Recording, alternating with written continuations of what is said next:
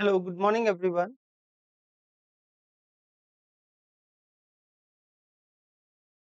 क्या आप मुझे सुन पा रहे हैं?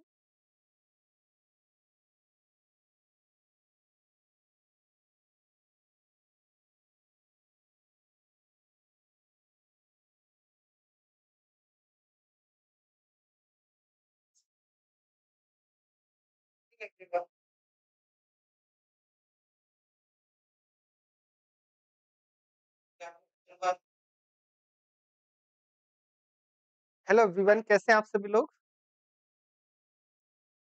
Very good afternoon. अब 12 बज के हो गई है 5 मिनट। तो आज हम इस सेशन में करने वाले हैं बाइलिनियर ट्रांसफॉर्मेशन। आप सभी से मैंने पूछा था कि आपकी कौन-कौन सी प्रॉब्लम वाले टॉपिक्स हैं। सभी को ऑडियो वीडियो क्लियर आ रहा है तो एक बार चैट बॉक्स में बता दीजिए मुझे। So that we can start.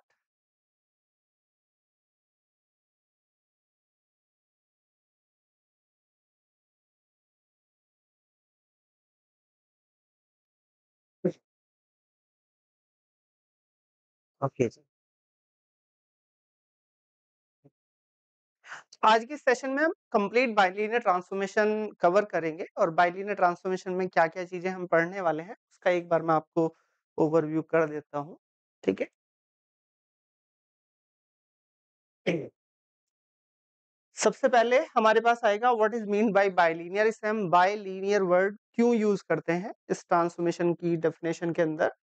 फिर सेकंड ऑप्शन सेकंड आपका रहेगा कि बाइलिनियर ट्रांसमिशन क्या 1-1 होता है, ऑन-टू होता है, इसके बारे में डिस्कस करना, ठीक है? तीसरा रहेगा image of some special figures आपके पास कुछ सेट दे दिए जाएँ तो उनकी इमेज अंडर बाइलिनियर ट्रांसफॉर्मेशन क्या मिलती है और वो किस तरह से काम करता है, ठीक है? फिर उससे आगे सबसे इंपॉर्टेंट एक टॉपिक होता है इसके अंदर concept of image of line and circle. Line की इमेज आपको क्या मिलती है, सर्किल की क्या मिलती है और आप उसे कैसे कनेक्ट करेंगे, ठीक है? किस तरह से आप उसे ध्यान रखेंगे कि कौन-सा किस पे जाके मैप होगा और कब-कब मैप होगा। फिर इसके बाद आपके पास कुछ एग्ज़ाम्पल्स भी आएँगे कुछ पीवाईक्यूज़ भी आएँगे और सबसे लास्ट में मिलेगी आपको एक बोनस टिप जो सबसे इम्पोर्टेंट होती है किसी भी बाइलिनियर ट्रांसफॉर्मेशन को जब आप सॉल्व कर रहे हैं या जब भी आपके पास एग्ज़ाम में कोई क्वेश्चन आता है, उसे आप सॉल्व कर रहे हैं? सभी को वॉइस क्लियर आ रही है? यस? अरे नहीं यार, कुछ नहीं। ठीक है, एक मिनट फ़ैन बंद कर देता हूँ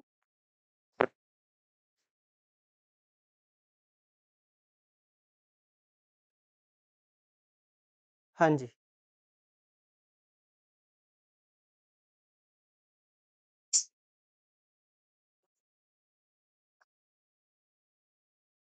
जस्ट अ मिनट।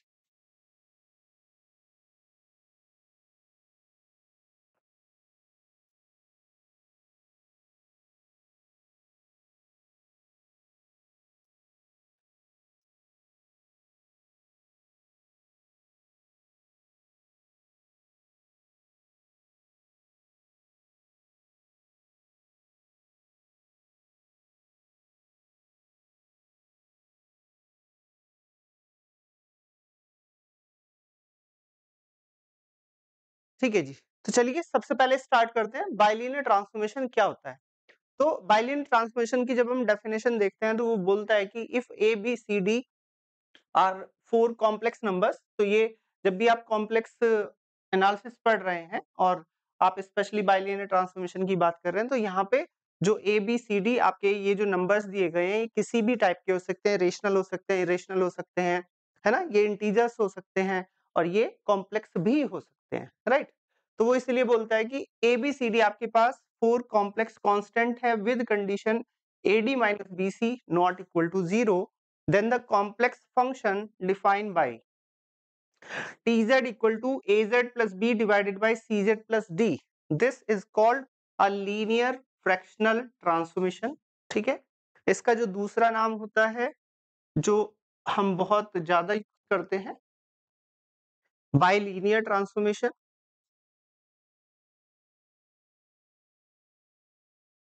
ठीक है? और तीसरा नाम जो आपको एग्ज़ाम के अंदर देखने के लिए मिलता है, वो मिलता है मोबियस ट्रांसफॉर्मेशन ठीक है? तो बेसिकली ये तीनों एक ही चीज़ है।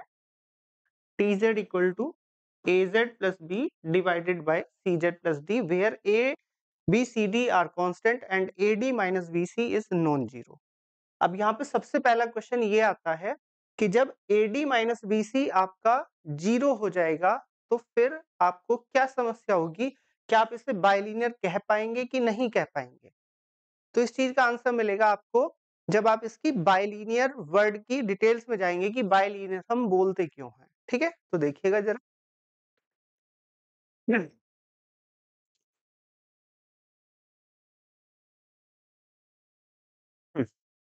जब आप इसे सॉल्व करोगे, ये आप जब भी बाइलिनियर ट्रांसमिशन की आप बात करते हो तो ये आपके पास कॉम्प्लेक्स प्लेन है और ये भी आपके पास कॉम्प्लेक्स प्लेन है, राइट? तो जो पहला कॉम्प्लेक्स प्लेन है, उसे बोलते हैं हम जेड प्लेन और जो दूसरा कॉम्प्लेक्स प्लेन है, उसे बोलते हैं डब्ल्यू प्लेन। ठीक है? इसीलिए हम इसे W equal to a z plus b divided by c z plus d भी लिखते हैं। तो वो बोलता है कि जब आप इसे सॉल्व करोगे W is equal to a z plus के b divided by c z plus d आप इन सब नाम में भी कनेक्शन देख पाएँगे कि इसे लीनियर फ्रैक्शनल ट्रांसफॉर्मेशन क्यों बोला गया है? क्योंकि ये बेसिकली क्या है? ये फ्रैक्शन में लिखा है और ऊपर और नीचे जो दोनों इक्वेशन है वो कैसी हैं? लीनियर हैं। इसलिए लीनियर फ्रैक्शनल ट्रांसफॉर्मेशन बोला गया ठीक है? दूसरा बाइलीनियर हम क्यों बोलते हैं? आप इसे सॉल्व करिएगा। तो आपको मिलेगा डब्ल्यू सी जेड प्लस के b is equal to a z plus b इसे भी मल्टीप्लाई कर दीजिए। तो सी जेड डब्ल्यू प्लस के डब्ल्यू बी माइनस के ए जेड माइनस के b is equal to zero आप इसके अंदर दो वेरिएबल देख रहे हैं बेसिकली यदि मैं एक इक्वेशन की तरह से देखूँ, एक W है और एक इसके अंदर Z है। और दोनों के दोनों ही कितनी पावर्स में अवेलेबल हैं? वन पावर में अवेलेबल ठीक है? एक इनपुट का है, एक आउटपुट का है। And that's why we say that कि this is a bilinear transformation. ठीक है? जैसे एक बड़ा सिंपल सा एग्जांपल दूँ मैं आपको। जैसे हम बोलते हैं T z equal to z identity operator identity transformation बोल दीजिए। ठीक है? तो इसे हम लिखेंगे W equal to z right but जब आप इसे सिंप्लीफाई करके W minus z equal to zero देखेंगे तो ये भी आपको कैसा दिखाई देगा?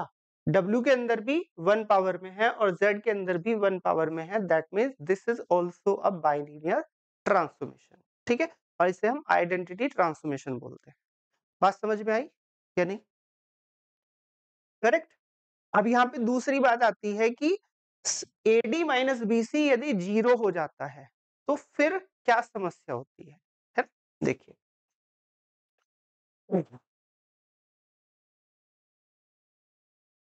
जब आपके पास a d minus b c zero होगा, ऐसा तो हो नहीं सकता कि सारे के सारे ज़ीरो हो जाएँ तो फिर ज़ीरो अपॉन ज़ीरो की फॉर्म बन जाएगी, ठीक है? तो क्लियर सी बात है, आपके पास कुछ ज़ीरो मिलेंगे, कुछ नॉन ज़ीरो मिलेंगे, ठीक है? और फिर हमें देखना है कि प्रोडक्ट हमारी कैसी हो रही है ज़ीरो तो हम वहाँ पे कोई चॉइस लेकर चल सकते हैं कि a d minus b c यदि आपके पास ज़ीरो होता है तो यहाँ से आप कहेंगे कि a d is equal to b c के होगा ठीक है? अब मैंने आपको बताया कि सारे के सारे तो एक साथ ज़ीरो नहीं हो सकते, क्योंकि यदि हो गए तो ज़ीरो अपॉन ज़ीरो टाइप की फॉर्म बन जाएगी, जो मेरे पास डिफाइन नहीं होती, ठीक है? और सिंपल सी बात है, ये जो सी जेड प्लस के डी है, ये तो ज़ीरो हो ही नहीं सकता। जब आप किसी भी फ़ंक्शन को डिफाइन करते हैं तो उसका डिनोमिनेटर कभी भी ज़ीरो नहीं होता है, ठीक है? तो इतनी बात तो क्लियर है कि सी टी एक साथ ज़ीरो नहीं हो सकते। तो इसमें से आप किसी एक को नॉन ज़ीरो ले लीजिए, किसी एक को ज़ीरो ले लीजिए, ठीक है? आपने मान लिया कि आपके पास सी नॉन ज़ीरो है। फिर आपके पास यहाँ पे ए को आपको ज़ीरो लेना पड़ेगा, क्योंकि मैंने आपसे कहा है कि सी और डी एक साथ तो ज़ीरो नहीं हो सकते, ठीक है? तो यहाँ पे हमने क्या करा? डी को ज़ीरो ले लिया, ठीक है? तो आप फिर आपके पास क्या मिल जाएगा? बी ज़ीरो मिल जाएगा। ये मैं पहला केस लेकर चल रहा हूँ तो जब डी ज़ीरो करेंगे और बी ज़ीरो करेंगे तो आप देखिए, जो टी जेड है, वो आपका क्या बन जाएगा? ए जेड प्लस के बी भी आपका ज़ीरो हो गया डिवाइडेड बाई सी जेड और प्लस के डी भी आपका ज़ीरो हो गया। ठीक है? यहाँ से आप देखोगे, इसे सॉल्व करके तो कितना मिल गया? A upon a z upon c z मतलब ए अपॉन सी ये कैसा मिला? कांस्टेंट मिल गया। और यदि किसी एक केस में भी आपका जो वर्डिंग डिफाइन कर रखी है, आपने ट्रांसफॉर्मेशन डिफाइन कर रखा है उससे बाइलिनियर में बोल क्यों रहा हूँ? लीनियर फ्रैक्शनल क्यों बोल रहा हूँ? यदि वो एक में फेल हो गया तो आप कहेंगे कि वहाँ से वो कंडीशन आप नहीं लेकर चल सकते। मतलब एडी माइनस बीसी आपका ज़ीरो नहीं हो सकता और यदि ज़ीरो हो गया तो फिर ये बाइलिनियर ट्रांसफॉर्मेशन नहीं रहेगा। क्यों? क्योंकि यहाँ से आपको मिलेगा T z equal to a upon c and which is a ठीक है? आप इसे ऐसा भी लिख सकते हैं डब्ल्यू इक्वल टू सी अब आप इसे W minus c equal to zero करके लिखेंगे तो ये डब्ल्यू के अंदर तो लीनियर है बट जेड के अंदर लीनियर नहीं है। Correct and that's why this is not a bilinear transformation तो इसीलिए बोला जाता है कि जब भी आपके पास बाइलिनियर ट्रांसफॉर्मेशन डिफाइन करा जाएगा तो AD माइनस BC का नॉन ज़ीरो होना कंपलसरी है। ठीक है? अब क्योंकि कॉम्प्लेक्स प्लेन के अंदर है हम हम नॉन ज़ीरो की बात तो कर सकते हैं। हम इसके ये नहीं कह सकते कि नॉन ज़ीरो का मतलब पॉजिटिव होगा नॉन ज़ीरो का मतलब निगेटिव होगा, या फिर कोई पर्टिकुलर टाइप का कॉम्प्लेक्स नंबर मिल रहा होगा। वो हमारे अलग अलग केस बनेंगे। बात समझ में आई यहाँ तक? बताइए। डी की जगह?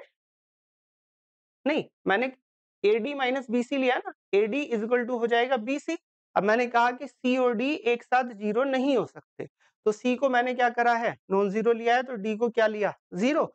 और दूसरी तरफ़ आपके पास डी ज़ीरो ले लिया तो यहाँ से तो ए डी ज़ीरो हो जाएगा। यहाँ से बी इंटू सी हो रहा है तो फिर बी को क्या लेना पड़ेगा? आपको ज़ीरो लेना पड़ेगा। ठीक है तो बी और डी आपके ज़ीरो हो जाएँगे तो यहाँ से a z upon c z मिलेगा। इज़ इट क्लियर करेक्ट ठीक है तो ये हुआ इसका पहला पॉइंट ये हुई इसकी definition why it is bilinear transformation सबको समझ में आया?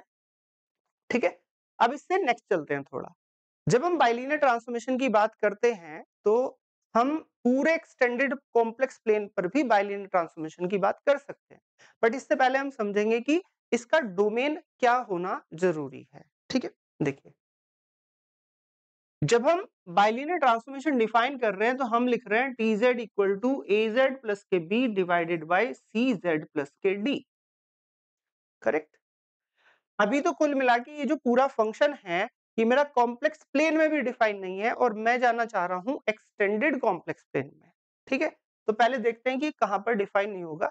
हमें पता है कि जब कोई भी फ़ंक्शन आप डिफाइन करते हो तो उसका डिनोमिनेटर कभी भी ज़ीरो नहीं हो सकता। मतलब z की वैल्यू आपकी कभी भी माइनस के डी अपॉन सी के इक्वल नहीं हो सकती। इसका मतलब माइनस के डी अपॉन सी आपका कभी भी डोमेन में नहीं हो सकता।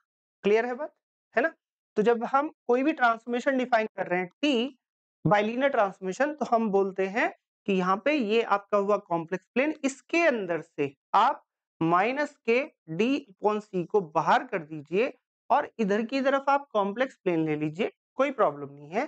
ये मैपिंग आपकी वेल डिफाइन हो जाएगी। बात समझ में आई या नहीं? क्लियर है? ठीक है। अभी हम एक्सटेंडेड कॉम्प्लेक्स प्लेन में जाना चाहते हैं तो हमें क्या करना होगा? इस माइनर डी अपॉन सी पर भी बात करनी होगी। अब हमें पता है कि जब डिनोमिनेटर ही ज़ीरो हो जाएगा, किसी भी फ्रैक्शन में यदि डिनोमिनेटर ज़ीरो हो जाए, ठीक है? और न्यूमरेटर मेरा नॉन ज़ीरो तो मैं क्या बोलता हूँ कि मेरी वैल्यू कहाँ पर जाएगी? इन्फिनिटी पर जाएगी। इज़ इट क्लियर तो यहाँ से क्या होगा? एक तो मुझे माइनस के डी अपॉन सी पे डिफाइन करना पड़ेगा और क्योंकि वैल्यू इन्फिनिटी आएगी तो मुझे कॉम्प्लेक्स प्लेन के अंदर यूनियन इन्फिनिटी करना पड़ेगा। और फिर ये क्या बन जाएगा? एक्सटेंडेड कॉम्प्लेक्स प्लेन ठीक है? तो जब एक्सटेंडेड कॉम्प्लेक्स प्लेन बन जाता है तो उस केस में हम कब, कैसे डिफाइन कर पाते हैं बाइलिनियर ट्रांसमिशन को या कैसे एक्सटेंड कर पाएँगे? क्योंकि पूरे के पूरे कॉम्प्लेक्स प्लेन पे यूनियन इन्फिनिटी पूरे सेट पे बात हो रही है, अब कोई पॉइंट यहाँ पर स्किप नहीं हो रहा है, ठीक है? तो देखिए, कैसे करते हैं? जब तक आपका z की वैल्यू माइनस के d अपॉन सी के बराबर नहीं है, ठीक है? और z इंफिनिटी नहीं है मतलब आप फाइनाइट कॉम्प्लेक्स प्लेन में है, प्लस आप उन नंबर्स की बात कर रहे हैं जिसके लिए आपका ट्रांसफॉर्मेशन डिफाइन हो जाता है तो आपका a z plus b divided by c z plus d ही रहेगा। इज़ इट क्लियर फिर दूसरा उसने कहा कि जब आप z इक्वल टू माइनस के d अपॉन सी लेकर चलते हैं, मैंने अभी आपको बताया कि केवल मुझे इन्हीं दो पॉइंट्स पे बात करनी है। क्योंकि मेरे पास जो फाइनाइट कॉम्प्लेक्स प्लेन है, उसके अंदर इस वाले पॉइंट पे प्रॉब्लम है। और जब मैं एक्सटेंडेड कॉम्प्लेक्स प्लेन लाऊँगा तो z इक्वल टू इन्फिनिटी मेरे पास और आ जाएगा। करेक्ट तो उसने इन्हीं दो पॉइंट्स पे एडिशनल कंडीशन बताई कि जब आपके पास z की वैल्यू माइनस के डी अपॉन सी है तो आप उसे इन्फिनिटी वैल्यू देंगे और जब z इक्वल टू इन्फिनिटी है तो आप इसे सिंप्लीफाई कर देंगे। A z plus b divided by c z plus के डी ठीक है? राइट. और z टेंस टू इन्फिनिटी लगाएँगे तो यहाँ से z कॉमन ले लेंगे, यहाँ से भी z कॉमन ले लेंगे, इसकी लिमिट कितनी आ जाएगी? A अपॉन सी और उसी लिमिटिंग वैल्यू को उसने z इक्वल टू इन्फिनिटी में वैल्यू दे दी। क्योंकि जब हम एक्सटेंडेड कॉम्प्लेक्स प्लेन में जाते हैं रियल के अंदर हमारे पास माइनस इन्फिनिटी प्लस इन्फिनिटी जैसा कॉन्सेप्ट रहता है। बट जब कॉम्प्लेक्स प्लेन के अंदर रहते हैं तो वहाँ तो आपको भी लाइन आप ड्रॉ कर रहे हैं, चाहे वो एक्स एक्सिस है, चाहे वाई एक्सिस है, चाहे वाई इक्वल टू एक्स है, चाहे y equal to minus x है, या जितनी भी लाइन है, हर लाइन पे आपको इन्फिनिटी और माइनस इन्फिनिटी मिलेगा करेक्ट तो वहाँ आपको बहुत सारे इन्फिनिटी माइनस इन्फिनिटी मिलेंगे तो इसलिए वहाँ पे प्लस इन्फिनिटी या माइनस इन्फिनिटी जैसा कोई कॉन्सेप्ट नहीं है। वहाँ एक जस्ट सिंबल यूज़ करा जाता है दिस इन्फिनिटी। ठीक है? और जब इसे आप कॉम्प्लेक्स प्लेन में ऐड कर देते हैं तो वो हो जाता है एक्सटेंडेड कॉम्प्लेक्स प्लेन। बात समझ में आई यहाँ तक? बताइए। सबको यहाँ तक चीज़ें क्लियर है? ये बेसिकली हमारी क्लासेस कंसर्न टॉपिक वाइज है। तो जैसे जैसे आपके टॉपिक आते रहेंगे वैसे वैसे क्लास हो ठीक है? तो इस तरह से यदि मैं किसी भी बायलिनियर ट्रांसफॉर्मेशन को एक्सटेंडेड कॉम्प्लेक्स प्लेन में डिफाइन करता हूँ तो मुझे यहाँ से ये वाली कंडीशन तो मिल गई। पर्टिकुलर इन दो पॉइंट पे मुझे एक्स्ट्रा वैल्यू पता चल गई कि माइनस के डी अपॉन सी पे इन्फिनिटी मिलेगा और इन्फिनिटी पे ए अपॉन सी मिलेगा। तो यहाँ से एक चीज़ और देखते हैं। जो हमारा सेकंड स्टेटमेंट था कि आज के टॉपिक में हम डिस्कस करेंगे कि ट्रांसफॉर्मेशन मेरा वन वन मिलता है कि नहीं मिलता? और वन वन मिल जाए तो फिर ओन टू मिलता है कि नहीं मिलता? ठीक है? राइट देखिए, आपके पास कोई भी बाइलिनियर ट्रांसफॉर्मेशन दिया गया है T z equal to a z plus के b divided by c z plus d हमने इसका डोमेन पहले से डिफाइन कर लिया कि माइनस के डी अपॉन सी को यदि आप बाहर कर देते हैं तो ये ट्रांसफॉर्मेशन आपका वेल डिफाइन है, फ़ंक्शन वेल डिफाइन है। हम चेक करते हैं कि क्या ये वन वन होगा या नहीं होगा। तो वन वन के लिए हम लेकर चलते हैं different elements of different image. तो हमारे पास Z1 और Z2 दो पॉइंट हैं जो आपके डिफरेंट हैं। तो हम यहाँ से टी जेड वन और टी जेड टू निकालते हैं और फिर उसे देखते हैं कि वो हमारे सेम मिलते हैं या नहीं मिलते हैं। ठीक है? या आप ऐसा कर सकते हैं, दो इमेजेस लेकर चल रहे हैं, उन्हें आप सेम ले रहे हैं तो आप दिखाएँगे कि प्री इमेजेस भी आपकी सेम होगी। ठीक है, ये वाला ज़्यादा ठीक रहेगा तो आप इससे कर लीजिएगा। ठीक है? हम ये लेकर चलेंगे let T z one equal to T z two और दिखाएँगे कि z one equal to z two मिलेगा। तो यहाँ से आपको मिलेगा ए जेड वन प्लस के b divided by c z one plus के d is equal to a z two plus b divided by c z two plus d ठीक है? क्रॉस मल्टीप्लीकेशन से इसे सॉल्व करिएगा। तो यहाँ से a z one plus b into में मिला सी जेड टू प्लस के डी इज़ इक्वल टू यहाँ से a z two plus b c z one plus d ठीक है? कैलकुलेशन करते हैं। तो a c z one z two plus के a d z one plus के b c z two plus के b into d is equal to यहाँ से मिलेगा आपको a c z one z two plus के a d z two plus के b c z one plus के B into D correct अब यहाँ पे आप इसे सॉल्व करोगे तो आपके पास कुछ टर्म्स कैंसिल आउट हो जाएँगी।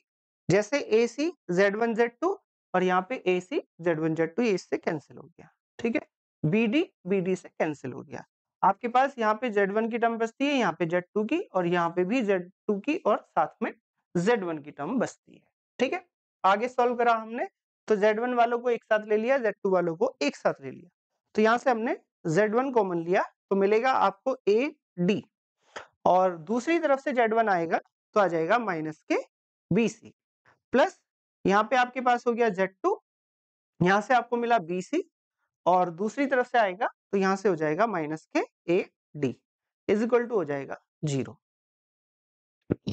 यहाँ पे एडी माइनस बीसी है, यहाँ पे बीसी माइनस एडी है। आपने एडी माइनस बीसी फिर से कॉमन ले लिया तो क्या आ गया? जेड वन माइनस के जेड। करेक्ट? आपके पास यहाँ से इक्वल टू ज़ीरो मिल रहा है। आपने पहले से कहा है कि क्योंकि बाइलिनियर ट्रांसफॉर्मेशन है तो AD minus BC non zero होगा। अब AD minus BC non zero है ये भी स्केलर है, ये भी स्केलर है, दो स्केलर की प्रोडक्ट ज़ीरो है तो यहाँ से क्या मिलता है आपको? जेड वन माइनस के Z two equal to zero means Z one equal to Z two तो यहाँ से हमें ये पता चल गया कि ट्रांसफॉर्मेशन आपका हमेशा वन वन होगा, ठीक है? करेक्ट ट्रांसफॉर्मेशन हमेशा आपका वन वन रहेगा। तो दूसरा देखते हैं ओन टू है ना? ओन टू देखने के लिए क्या करना पड़ेगा?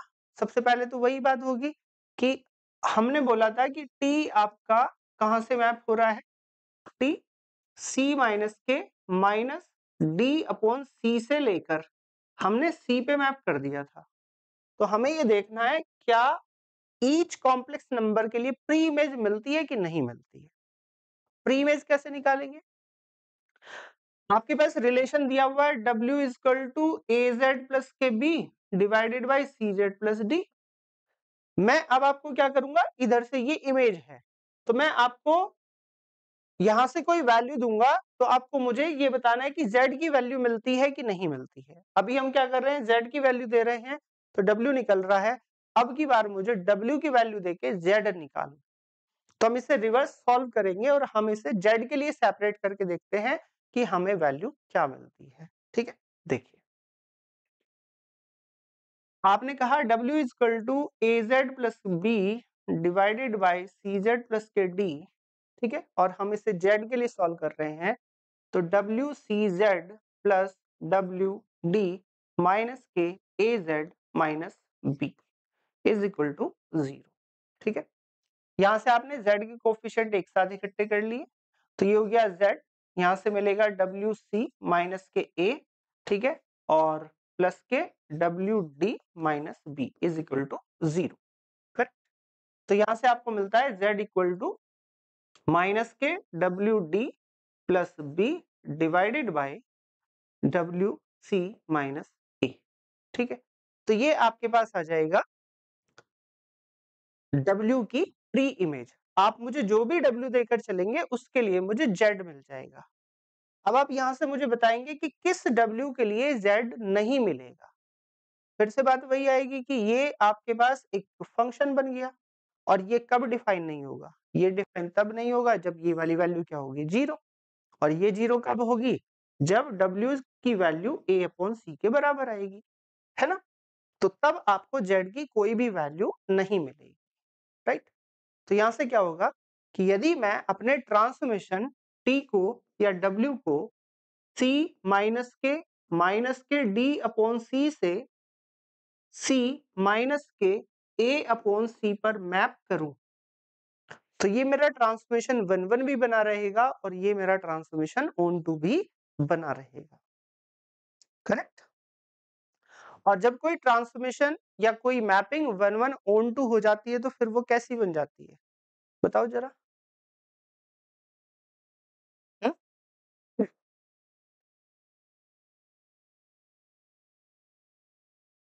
बोलिए, जब कोई मैपिंग आपकी वन वन और ओन टू हो जाए, ठीक है तो फिर आप उससे क्या कंक्लूड करते हैं कि वो किस तरह की मैपिंग बन जाएगी? वो बन जाएगी इनवर्टेबल, है ना? अब जो इनवर्स निकलेगा, वो निकलेगा तो कुछ ऐसा ही। यदि आपके पास W को आप T Z equal to A Z plus के B divided by C Z plus D लिख रहे हैं तो आपका जो टी इनवर्स जेड होगा वो ऐसे ही मिलेगा। T inverse Z will be minus के डी जेड प्लस के B divided by C Z minus के ए ऐसे मिलेगा। ठीक है? अब देखना यहाँ पर ये होगा कि क्या मैं हर बार यही सारा काम करूँगा या मेरे पास जब लीनियर बाइलिनियर ट्रांसमिशन डिफाइन करके दिया जाएगा तो मैं वहाँ पे किसी और तरीके से भी इनवर्स निकाल सकता हूँ। ठीक है? चलिए। राइट। तो अभी पहले यहाँ पे नोट कंक्लूड कर लेते हैं यहाँ तक, फिर इस आगे चलते हैं। हमने यहाँ पर देख लिया कि हमारे पास AD माइनस बीसी यदि ज़ीरो होता है तो हमारे पास कैसा मिलता है? ये कांस्टेंट मिलता है। राइट? पहला नोट हो गया। ये नोट आप लिख लेंगे। टी हमेशा मेरा वन वन मिले। आप चाहे उसे एक्सटेंडेड प्लेन में डिफाइन करें या आप उसे simple complex finite complex plane में डिफाइन करें। ठीक है? टी हमारा बाइजेक्शन बनाता है कहाँ से? C माइनस के माइनस डी अपॉन सी से C minus A upon C पर राइट जो हम मैपिंग डिफाइन करते हैं। और चौथा, T is also bijection from C union infinity to C union infinity है पीछे लेकर चलते हैं। यहाँ पर, यदि मैं C यूनियन इंफिनिटी पे बात करता हूँ तो आप कहोगे कि ये बाइजेक्शन कैसे होगा? तो मुझे क्या करना है? यहाँ तो ये बाइजेक्शन ऑलरेडी है। यहाँ पर तो ये बाइजेक्शन ऑलरेडी है। मैंने दो पॉइंट और ऐड करे। दो पॉइंट ऐड करने के बाद मुझे यहाँ से माइनस के डी अपॉन सी इन्फिनिटी पे मिल गया और इन्फिनिटी आपका ए अपॉन सी वैल्यू दे देगा। करेक्ट तो मैंने यहाँ पे सी यूनियन इन्फिनिटी से सी यूनियन इन्फिनिटी ऐसे मैप करा। ठीक है?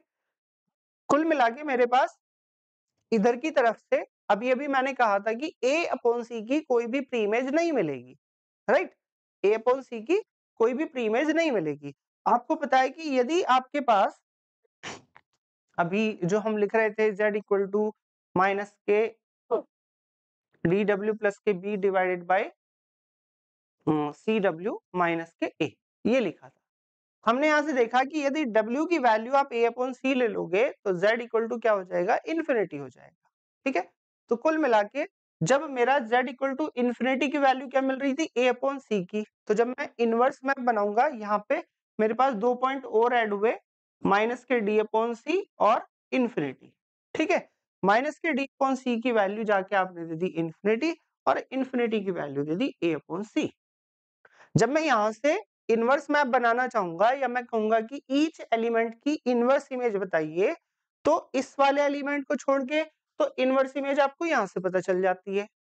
यदि आपने ये वाला एलिमेंट छोड़ ऐड कर दिया तो सिंपल सी बात है, मुझे यहाँ पे इन्फिनिटी भी ऐड करना पड़ेगा, क्योंकि इन्फिनिटी ही जाके ए अपॉन सी पर मैप होगा। तो ए अपॉन सी की प्री इमेज क्या होगी? इन्फिनिटी होगी। और यदि यहाँ पर आपने इन्फिनिटी लिया है तो क्लियर सी बात है, यहाँ पे माइनस के डी अपॉन सी आ रहे होंगे। तो माइनस के डी अपॉन सी इन्फिनिटी में मैप और इन्फिनिटी की प्री इमेज माइनस के डी अपॉन सी। करेक्ट? तो जब आप एक्सटेंडेड कॉम्प्लेक्स प्लेन में किसी बाइलिनियर ट्रांसफॉर्मेशन को डिफाइन करते हैं तो वहाँ पे मुझे कुछ चेक करने की ज़रूरत ही नहीं है, वो आपका हमेशा one one and on to बनेगा ही बनेगा। बात समझ में आ गई सभी के? एक बार मैसेज में बता दीजिए, ठीक है? अब इससे नेक्स्ट आता हाउ टू फाइंड इनवर्स तो इसके लिए आपको करना क्या है?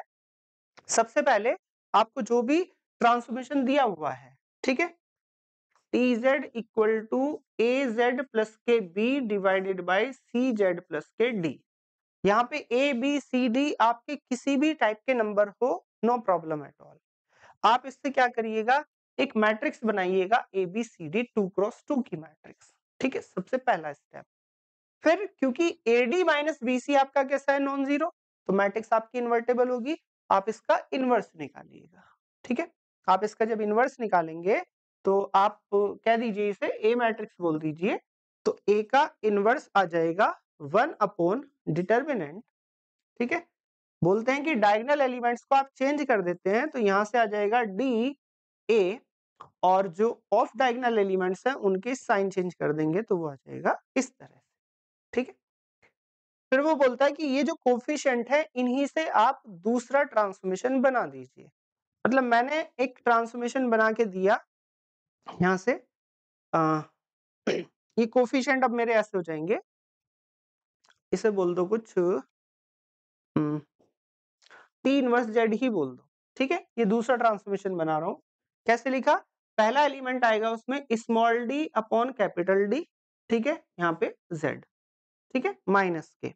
यहाँ पे आ जाएगा बी अपॉन कैपिटल डी ठीक है? Divided by. यहाँ से आएगा माइनस के C upon capital D, Z, और यहाँ से आ जाएगा प्लस के ए अपॉन कैपिटल डी।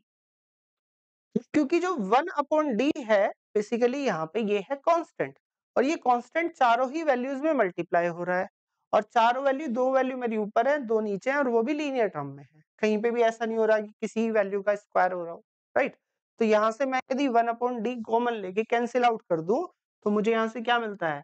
केवल डी जेड माइनस के बी डिवाइडेड बाई माइनस के सी जेड प्लस ए।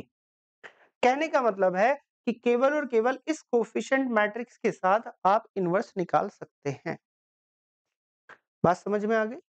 है ना केवल इनवर्स मैट्रिक्स जो आपको कोफिशिएंट वाली मिलेगी, वन अपॉन डी छोड़ दीजिए तो वहीं से आप अपना ट्रांसफॉर्मेशन का इनवर्स फाइंड आउट कर सकते हैं। जस्ट एक एग्ज़ाम्पल आपके पास टी जेड इक्वल टू दिया गया है आयोटा जेड प्लस के one divided by three Z plus के टू आयोटा सबसे पहले ये चेक करना है आपको कि आपकी एडी माइनस बीसी की प्रोडक्ट नॉन ज़ीरो होनी चाहिए। और दूसरी बात, एक और इंपॉर्टेंट आपके पास जो ट्रांसफॉर्मेशन होना चाहिए वो A Z plus B divided by C Z plus D इस स्टैंडर्ड फॉर्मेट में होगा तो ही आपकी matrix A B C D बनेगी। यदि सपोज़ करो आपने मुझे ट्रांसमिशन ऐसा दे दिया कि वन प्लस के Z divided by Z plus के टू तो फिर मुझे यहाँ से इसे स्टैंडर्ड फॉर्मेट में लिख के एबीसीडी की वैल्यू कैलकुलेट करके तब करना होगा, ठीक है? तो यहाँ से देखिए, हमारे पास जो ए मैट्रिक्स बनेगी, वो आ जाएगी आयोटा, यहाँ से आ जाएगा वन, यहाँ से आ जाएगा थ्री, यहाँ से आ गया टू आयोटा, ठीक है? प्रोडक्ट कर लेते हैं टू आयोटा की, आयोटा के साथ माइनस के टू और यहाँ से माइनस के three, minus five determinant non zero. यहाँ से आप ए इनवर्स निकालते हैं तो मुझे बाहर वन अपॉन डिटर्मिनेंट जो भी मिले, यहाँ से मैंने क्या करा, डायगनल एलिमेंट्स चेंज करे और इनका साइन चेंज कर दिया एस से। ठीक है? तो यहाँ से आपको जो इस टी का इनवर्स मैप मिलेगा, वो हो जाएगा आपका टू आई जेड माइनस के वन डिवाइडेड बाई माइनस के थ्री जेड प्लस बात समझ में आ गई सभी?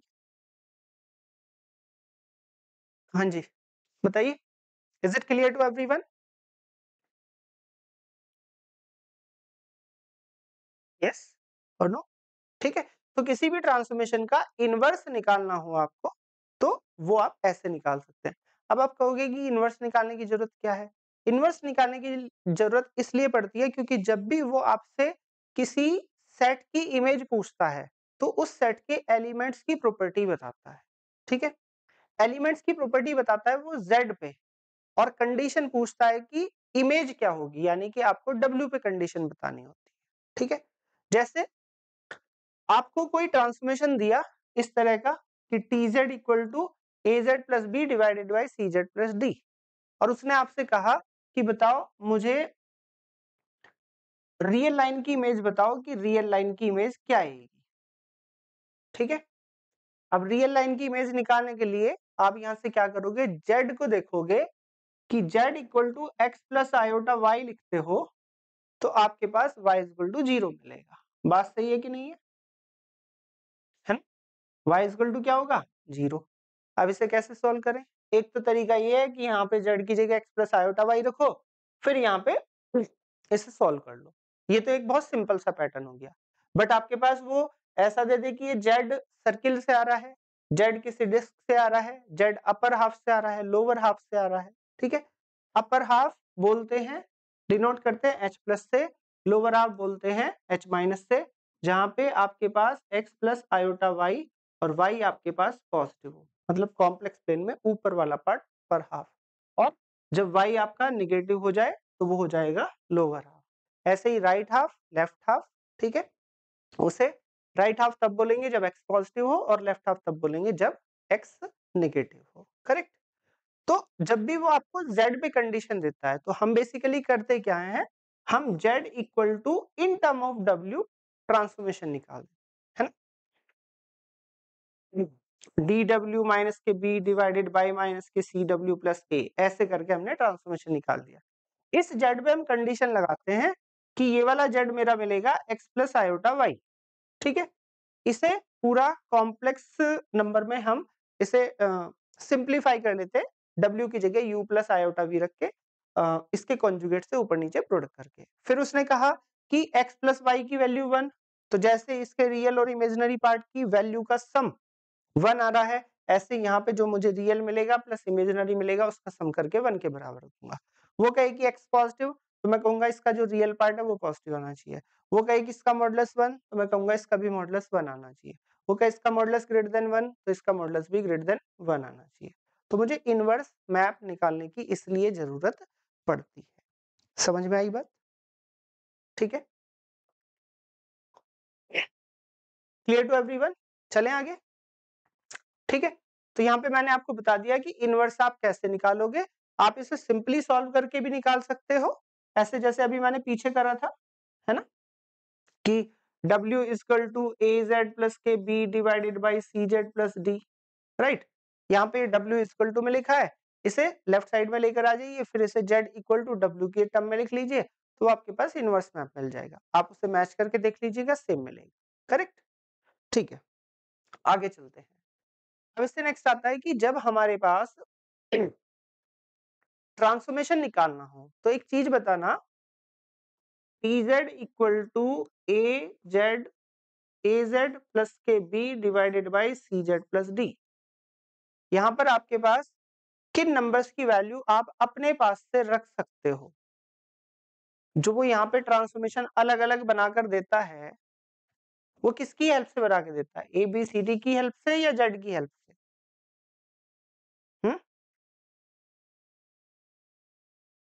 बोलो। किसकी हेल्प से बना के देगा? एबीसीडी की हेल्प से? और एबीसीडी मेरे पास कितने नंबर हुए? चार। ठीक है? बट यहाँ पे मेरे पास एक फॉर्मूला आता है थ्री पॉइंट फॉर्मूला और क्रॉस रेशियो फॉर्मूला यदि आप मुझे फाइनाइट कॉम्प्लेक्स प्लेन या एक्सटेंडेड कॉम्प्लेक्स प्लेन के अंदर तीन पॉइंट दे दें और आप मुझे उनकी वैल्यू बता दें कि कौन सा कहाँ पे जाके मैप हो रहा है तो मैं इस फॉर्मूले के थ्रू अपने ट्रांसफॉर्मेशन को आइडेंटिफाई कर सकता हूँ। फिर उसके बाद हमारा जो आगे का काम है, वो जो भी पूछता है, वो हो जाएगा। ठीक है? यहाँ पे W minus W one into W two minus W three divided by W minus के डब्ल्यू थ्री इंटू में W two minus W one और इधर की तरफ़ डब्ल्यू की जगह बस जेड रिप्लेस कर दिया है तो आपका ये फॉर्मूला बन जाता है। जहाँ पे Z1 W1 पे जाके मैप हो रहा है Z2 W2 पे और Z3 W3 पर जाकर मैप हो रहा है। करेक्ट? अब इसे याद कैसे रखोगे? सबसे बड़ी समस्या होती है इसे याद रखने में, है ना?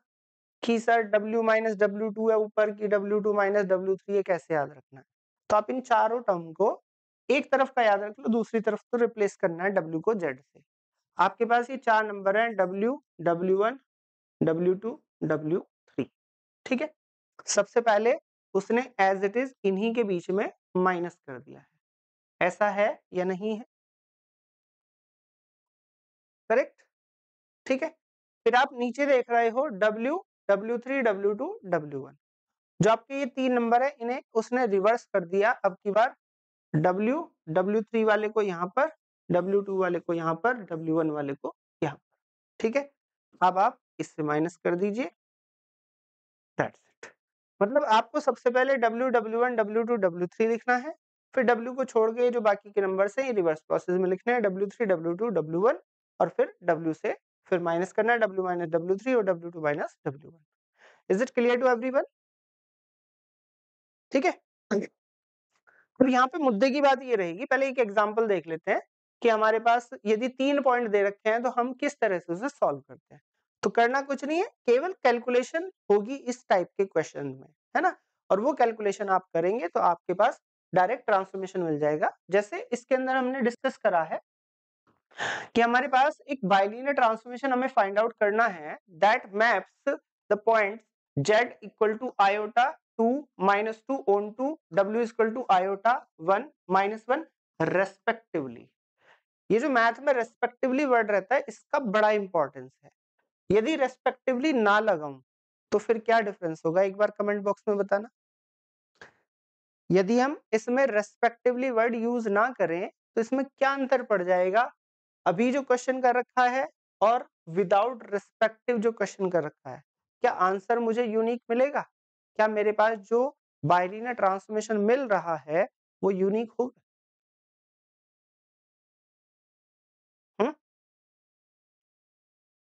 बताइए जरा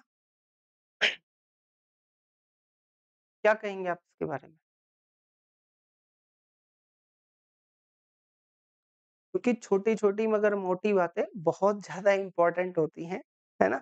और इंटरव्यू में यही छोटी-छोटी बात पूछ ली जाती है कि एडी माइनस बी सी आपका ज़ीरो हुआ तो आप कैसे बताएँगे कि वो बाइलिनियर नहीं है? Why is not bilinear? तो आपको बाइलिनियर की डेफिनेशन में जाना पड़ेगा, है ना? Mapping is not properly defined. Basically यहाँ पे 3 एलिमेंट्स है और उन्हें तीन ही एलिमेंट्स पे मैप कर दिया। यदि रेस्पेक्टिवली नहीं लिखोगे तो आपको ये नहीं पता कि ये जो आयोटा है, ये इन तीन में से किस पे मैप होगा। ये कंफर्म है कि किसी एक पे मैप होगा बट मुझे ये नहीं पता कि किस पे मैप होगा राइट ये जो टू है, ये किस पे मैप होगा? इन तीन में से किसी एक पर होना है, और माइनस टू को भी इनमें से किसी एक पर होना है। यदि मैं रेस्पेक्टिवली हटा दू तो कितने ट्रांसफॉर्मेशन मिलेंगे यहाँ पे डिफरेंट डिफरेंट टाइप के? बताएँगे आप? How many transformation exist if I remove respectively from here permutation combination का सवाल है simple right how many one one function exist iota के लिए तीन चॉइस फिर टू के लिए दो चॉइस और माइनस टू के लिए एक choice total number of function बनेंगे यहाँ पर छ मतलब तब आप छह बाइलिनियर ट्रांसमिशन डिफाइन कर सकते हैं। समझ में आ गई बात या नहीं? Nine six six very good Tripti Kumari. गलत। नो ट्रांसफॉर्मेशन कैसे कर दोगे? अरे भैया वन वन रहेंगे। वन वन मैपिंग निकालनी है। हम्म ठीक है ना? Yes very good three factorial तो यहाँ पे छह मैपिंग मिलेंगी तो फिर वहाँ पे गड़बड़ हो जाएगा। हमने वो जो फॉर्मूला लिखा था, उसी के अंदर W माइनस के यहाँ पे हम वैल्यूज़ लिख देते हैं। ये मेरे पास Z1 है, ये मेरे पास Z2 है, ये मेरे पास Z3 है, ये W1 है, ये W2 है, ये W3 है। तो सबसे पहले W माइनस के W1 W माइनस आयोटा फिर W2 माइनस के W3 ये हो जाएगा one minus minus one two तो यहाँ पर देख लीजिए, ठीक है? फिर उसके बाद आएगा W माइनस के W3 तो ये हो जाएगा W प्लस वन और फिर W2 माइनस के W1 तो वन माइनस आयोटा फिर W की जगह Z रख दो, ठीक है? और फिर आपकी Z1 Z2 Z3 की वैल्यू यहाँ से Z माइनस के Z1 तो Z माइनस के आ गया? आयोटा। फिर आपका होगा Z2 माइनस के Z3 हो जाएगा फोर यहाँ पर आ गया।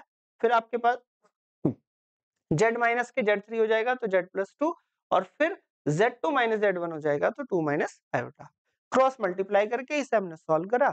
सॉल्व करके जो हमें ट्रांसफॉर्मेशन मिला, वो मिल गया ये वाला। कैलकुलेशन आपकी सही है या गलत है, आप इसे एक बार वेरीफाई कर सकते हो कैसे? इसकी वैल्यूज़ यहाँ पर पुट करके। जैसे आपने आयोटा रखा तो ऊपर मिलेगा three plus two five iota है ना? और नीचे हो जाएगा सिक्स माइनस वन फाइव तो फाइव आयोटा से फाइव डिवाइड करो फाइव से डिवाइड करोगे तो मिलेगा आयोटा तो आपकी मैपिंग कंफर्म हो गई। ठीक है?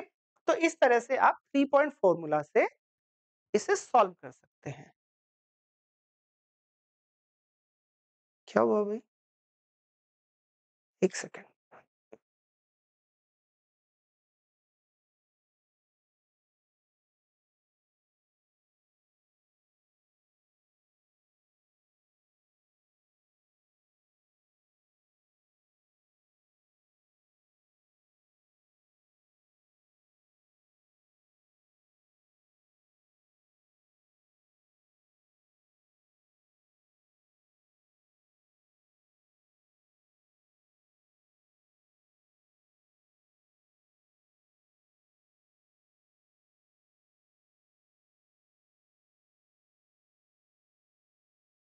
हाँ जी, करेक्ट। ओके। राइट तो यहाँ पे थ्री पॉइंट फॉर्मूला आ गया। अब आपके लिए क्वेश्चन है, आप इसका आंसर करेंगे, ठीक है? वीडियो को पॉज करके देखिएगा, सोचिएगा और फिर उसके बाद आंसर करिएगा कि हमारे पास अननोन से चार और पॉइंट्स दिए गए हैं थ्री और फिर भी हम बोल रहे हैं कि हम किसी बाइलिनियर ट्रांसमिशन को यूनिकली डिटरमाइन कर सकते हैं, ठीक है? Why only three points while in tz four unknowns are available? ठीक है? चार अननोन होने के बाद भी हम यहाँ पे तीन अननोन की आप मुझे वैल्यू दे दो एबीसीडी में से किसी तीन की तो मेरा यहाँ पर काम हो जाएगा, है ना? हाँ वो कैमरा शट डाउन हो गया था, ठीक है? तो इसका आंसर आप कमेंट बॉक्स में करके बताएँगे कि ऐसा किस लिए है कि तीन पॉइंट के थ्रू ही हम पूरा का पूरा बाइलिनियर ट्रांसमिशन डिकोड कर सकते हैं। ठीक? अब चलते हैं इससे आगे फिक्स पॉइंट। फिक्स पॉइंट जब हम किसी भी बाइलिनियर ट्रांसमिशन में देखते हैं तो वो वहाँ पे दो कंडीशन बताता है। पहली बाइलिनियर ट्रांसफॉर्मेशन नॉन आइडेंटिटी आपके पास यदि आइडेंटिटी ट्रांसफॉर्मेशन नहीं है, उसके अलावा जो भी आप लीनियर बाइलिनियर ट्रांसफॉर्मेशन लेकर आते हैं, can have at most two fix point. At most two fix points in extended complex plane ठीक है? मतलब कहने का कि किसी भी बाइलिनियर ट्रांसफॉर्मेशन के पास जो आइडेंटिटी नहीं है, उसके पास कभी भी दो से ज़्यादा फिक्स पॉइंट नहीं हो सकते। And if you are saying that कि you have a transformation that map one to one two plus iota to two plus iota that is fine दो पॉइंट तक ठीक है बट यदि आपने ये कह दिया कि आयोटा को आयोटा पे या फिर इंफिनिटी को इंफिनिटी पर मैप करता है तो फिर उस ट्रांसफॉर्मेशन को आइडेंटिटी ही होना पड़ेगा। क्योंकि कोई भी नॉन आइडेंटिटी ट्रांसफॉर्मेशन इंफिनिटी को सॉरी दो से ज़्यादा पॉइंट फिक्स नहीं कर सकता। करेक्ट यहाँ पे एक इंपॉर्टेंट पॉइंट आपसे ये पूछना चाहता हूँ मैं कि आपके पास ऐसे कौन कौन से ट्रांसफॉर्मेशन मिलेंगे जो इन्फिनिटी को भी फिक्स रखेंगे? ठीक है? इसका आप आंसर करके बताएँगे मुझे। ऐसे कौन से ट्रांसफॉर्मेशन होंगे जो इंफिनिटी को इन्फिनिटी पर लेकर जाएँगे? ठीक है? उसकी कैटेगरी आप डिवाइड करके लिखेंगे, क्या वो ट्रांसफॉर्मेशन कुछ ऐसे टाइप के होंगे कि a z plus b divided by c z plus d where c is non zero ठीक है? और क्या वो उस टाइप के होंगे कि a z plus b divided by c z plus d where c is zero ठीक है? तो वहाँ से आपको एक अलग कैटेगरी पता चलेगी। यदि किसी ट्रांसफॉर्मेशन के पास बाइलिनियर ट्रांसफॉर्मेशन के पास दो फिक्स पॉइंट मिल जाते हैं तो उसके लिए हम एक बाइलिनियर ट्रांसफॉर्मेशन बनाकर दिखा सकते हैं। कैसे?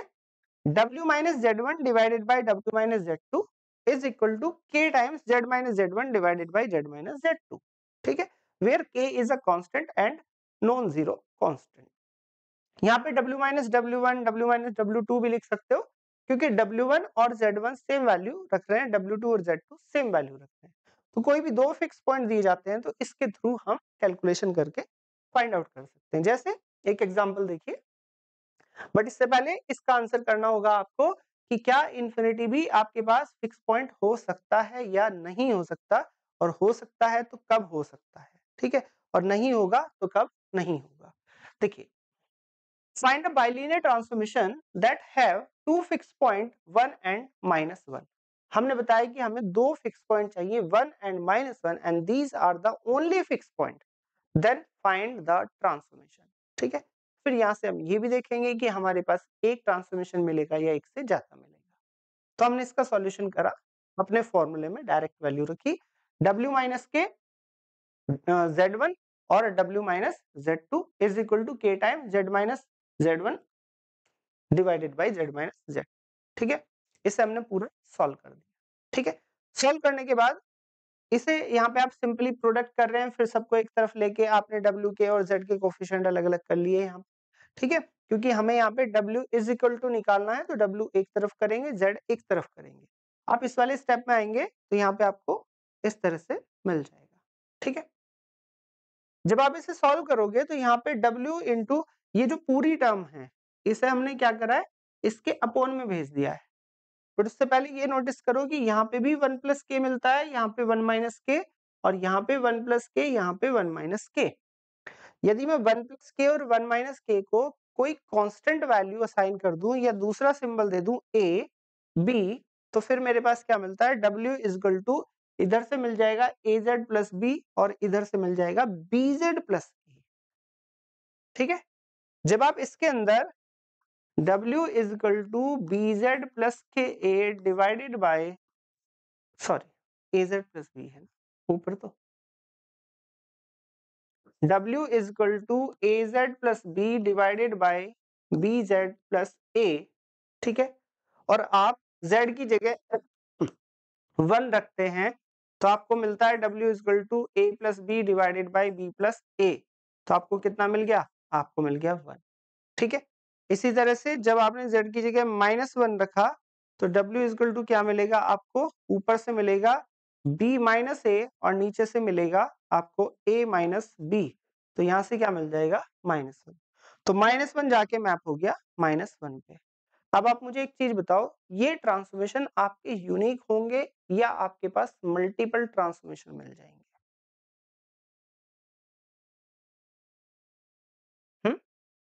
वो आपको किसी अदर पॉइंट की वैल्यू दे दे तो आप आराम से बता सकते हैं ट्रांसफॉर्मेशन क्या हुआ, है ना?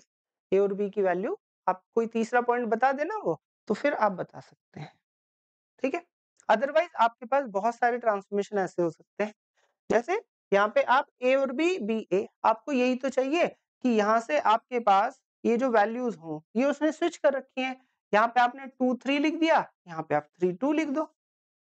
बट जो तीसरा पॉइंट होगा, क्योंकि हमें पता है कि तीन पॉइंट यदि आपने मुझे बता दिए तो मैं ट्रांसफॉर्मेशन को यूनिकली निकाल सकता हूँ। दो आपने फिक्स कर दिए और तीसरा आपने मुझे कोई और दे दिया। अब तीसरा फिक्स हो गया तो आप तुरंत कह दोगे, जी, ये तो आइडेंटिटी हो जाएगा। और तीसरा फिक्स नहीं हुआ तो फिर आप उसे यूनिकली आइडेंटिफाई कर सकते हो। ये सुनो ट्रांसफॉर्मेशन आपका यूनिकली निकल जाएगा कि नहीं? समझ में आई इतनी बात सभी के? ठीक है? तो ये हुआ आपके पास फिक्स पॉइंट का मैटर। ठीक है? इस वाले क्वेश्चन का आंसर आप करेंगे कि क्या इंफिनिटी फिक्स पॉइंट हो सकता है या नहीं हो सकता? दोनों केस डिस्कस करेंगे कि कब हो सकता है, कब नहीं हो सकता। अब इससे आगे आते हैं। One of the most most important and most beautiful property of bilinear transformation. Her mapping के अंदर अपनी कुछ एक हिडन प्रॉपर्टी रहती है है ना? जो हमें उस मैपिंग के बारे में जब आप डिस्कस करोगे या थोड़ा सा ग्राफिकल पार्ट पे जाओगे, उसे ड्रॉ करने की कोशिश करोगे या उसके डेरिवेशन में जाओगे, तब आपको पता चलेगा कि वहाँ पे कुछ स्पेशल है या नहीं। जैसे बाइलिनियर ट्रांसमिशन में हमें क्या मिलता है? Every bilinear transmission maps circle and line on to circle and line. कौन मुझे यहाँ से बताएगा कि ये जो स्टेटमेंट लिखा है कि circle and line on to circle and line, इसका मतलब ये है कि सर्किल को सर्किल पे मैप करेगा, लाइन को लाइन पे मैप करेगा या फिर कुछ और है। यस? yes? बताइए जरा।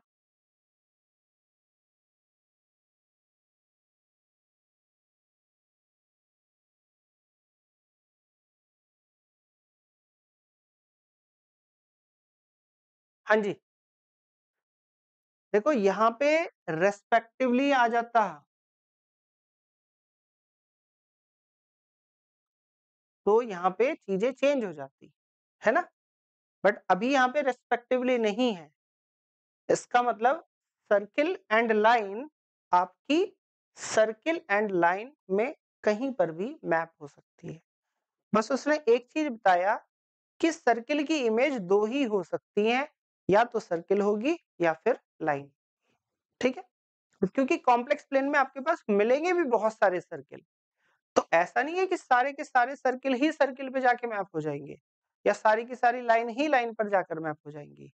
ये बताता है कि केवल दो चॉइस हैं सर्किल या तो सर्किल पे मैप होगा या लाइन पे मैप होगा, और इसी तरह से लाइन भी या तो सर्किल पे मैप होगी या फिर लाइन पर मैप होगी करेक्ट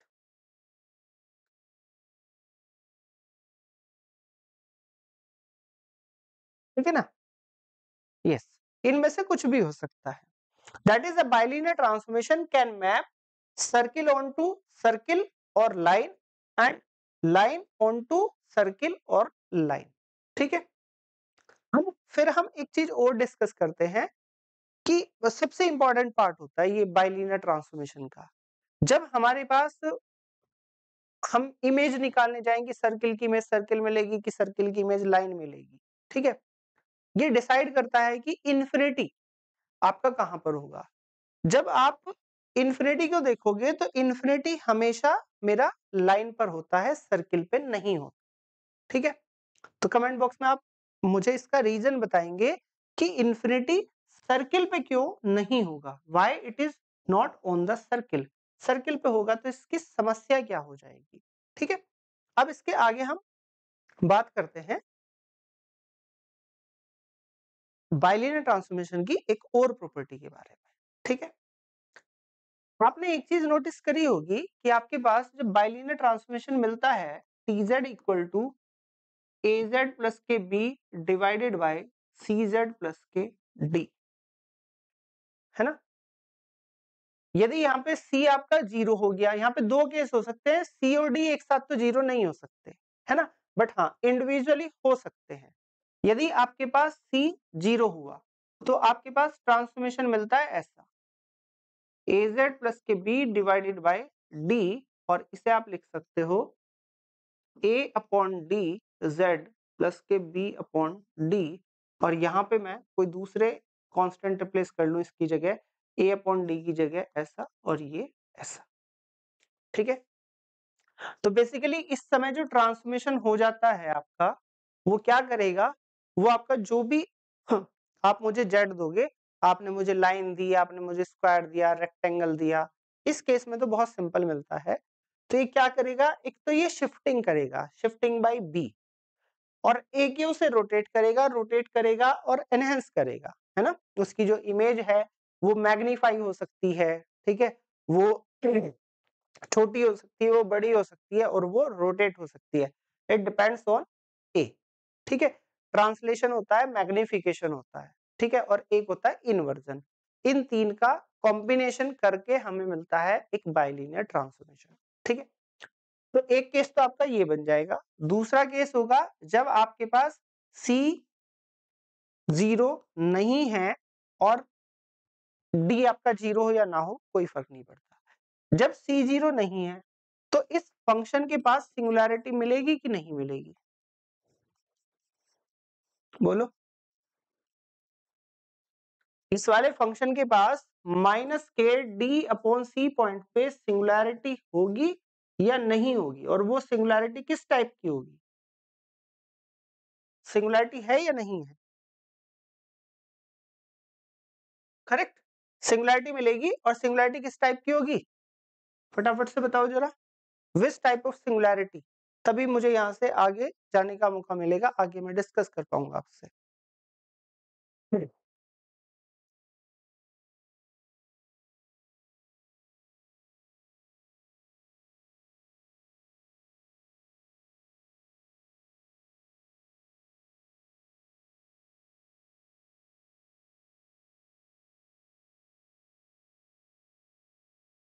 सिंगुलैरिटी मिलेगी मुझे पोल है ना? पोल। और पोल कहाँ पर जाता है? मतलब सिंगुलैरिटी पे ट्रांसफॉर्मेशन मैपिंग कहाँ जाती है? यदि आपके पास पोल हो, हम बोलते हैं कि जेड अप्रोचेस टू माइनस के d upon c t z approaches to infinity बात सही है कि नहीं है? है ना? अब यहाँ से आपके पास एक लॉजिक मिलेगा कि आप कैसे याद रखोगे कि इंफिनिटी आपको कहाँ पर मिलेगा? ठीक है? क्यों मिलेगा? वो मैंने आपसे पूछा है कि सर्किल पे क्यों नहीं मिलेगा? इसका आंसर आप करोगे। कहाँ पर मिलेगा? ये मैं आपको बता रहा हूँ। आप देखो, आपके पास पूरा कॉम्प्लेक्स प्लेन है। है ना? आपके पास पूरा कॉम्प्लेक्स प्लेन है। हम केवल दो इमेजेस की बात कर रहे हैं, दो सेट की बात कर रहे हैं। हम लाइन की बात कर रहे हैं, हम सर्किल की बात कर रहे हैं। इसके अलावा हमारे पास क्या सेट मिलता है, उसके लिए हमें कैलकुलेशन करके देखना पड़ेगा कि टीजेड कैसा मिलेगा, इमेज मुझे क्या मिलेगी। मैं पहले से प्रेडिक्ट नहीं कर सकता, बट इन दो के लिए आप प्रेडिक्शन कर सकते हैं। देखिए, आपने अभी भी बताया कि जो माइनस के डी अपॉन सी है, वो आपका डोमेन के अंदर होगा और वो कहीं आपके पास एग्जिस्ट करेगा और वो होगा पोल। डोमेन का मेंबर नहीं है, क्योंकि फ़ंक्शन आप डिफाइन नहीं कर रहे हैं वहाँ पर और ना ही डिफाइन कर सकते हैं। बट जो भी आप वहाँ पे लाइन या सर्किल लेकर जा रहे हैं, वो उस पॉइंट से क्रॉस होके जा सकता है। जैसे आपने यहाँ से ऐसे एक सर्किल ले लिया, ठीक है? आपने यहाँ से एक ऐसे लाइन ले ली तो इस लाइन पे, इस माइनस के डी अपॉन सी पे तो होगा पंक्चर और बाकी सारे के सारे पॉइंट आपके लाइन के आ रहे होंगे, ठीक है? तो आप ये नहीं कहोगे कि लाइन ब्रेक हो गई। या आप ये नहीं कहोगे कि माइनस के डी अपॉन सी से तो लाइन ड्रॉ ही नहीं कर सकते। You can draw the line but minus के डी अपॉन सी आपका सेट में नहीं है तो आप उसकी इमेज की बात नहीं करोगे। बट हमने अभी अभी देखा क्योंकि माइनस के डी अपॉन सी पे आपको मिलता है पोल आपको मिलता है पोल तो जब आप इधर से जाएँगे, जब आप इधर से जाएँगे, ठीक है, या आप इस सर्किल के ऊपर जा रहे हैं तो आप इधर से जाएँगे तो जो पॉइंट्स हैं, वो आपके माइनस के डी अपॉन सी की तरफ़ जा रहे हैं। मतलब आप कह सकते हैं कि इस वाले नेबरहुड में आप एक सीक्वेंस बना सकते हैं जेड के की, जो माइनस के डी अपॉन सी पर जा रही है और ईच जेड के आपका कहाँ पर आ रहा है? डोमेन के अंदर आ रहा है। सी माइनस के माइनस के डी अपॉन सी यहाँ तक बात समझ में आई या नहीं? करेक्ट ये जो जेड के होंगे, ईच जेड के आपके पास there exist a sequence, z k, belongs to the domain, such that, z k approaches to minus के डी अपॉन सी। ठीक है? और हमने पता है कि जब हमारे पास पोल मिलता है तो फिर जो टी जेड के होगा, वो कहाँ जाएगा? आपका ट्रांसफॉर्मेशन कहाँ जाएगा? जब जेड के माइनस के डी अपॉन सी पर जा रहा है, टी माइनस के डी अपॉन सी पर, और ये क्या मिलेगा? ये आपको मिलेगा इन्फिनिटी। कहने का मतलब टी जेड के आपका इन्फिनिटी पर चला जाएगा। मतलब जो इसके नेबरहुड में ये जो पॉइंट्स आ रहे हैं, दोनों तरफ़ से, चाहे लाइन से चल लो, चाहे सर्किल से चल लो, ये आपको ले जाके मैप करेंगे इन्फिनिटी पे। या आप कहो कि इन, इस नेबरहुड में जो पॉइंट्स मिलेंगे, उनकी जो इमेज होगी, उसका जो मॉडुलस होगा, वो वेरी वेरी लार्ज होगा, आप उसे बाउंड नहीं कर सकते। ठीक है? और बाउंड नहीं कर सकते तो ये कहाँ बनेगा? सर्किल पे कि लाइन पे? यस यदि आपके पास ऐसी वैल्यूज़ हैं जिन्हें आप बाउंड नहीं कर सकते, वो आपको सर्किल पे मिलेंगी कि लाइन पर मिलेंगी? कौन होता है अनबाउंडेड सर्किल या फिर लाइन हम्म? फटाफट से आंसर करिए।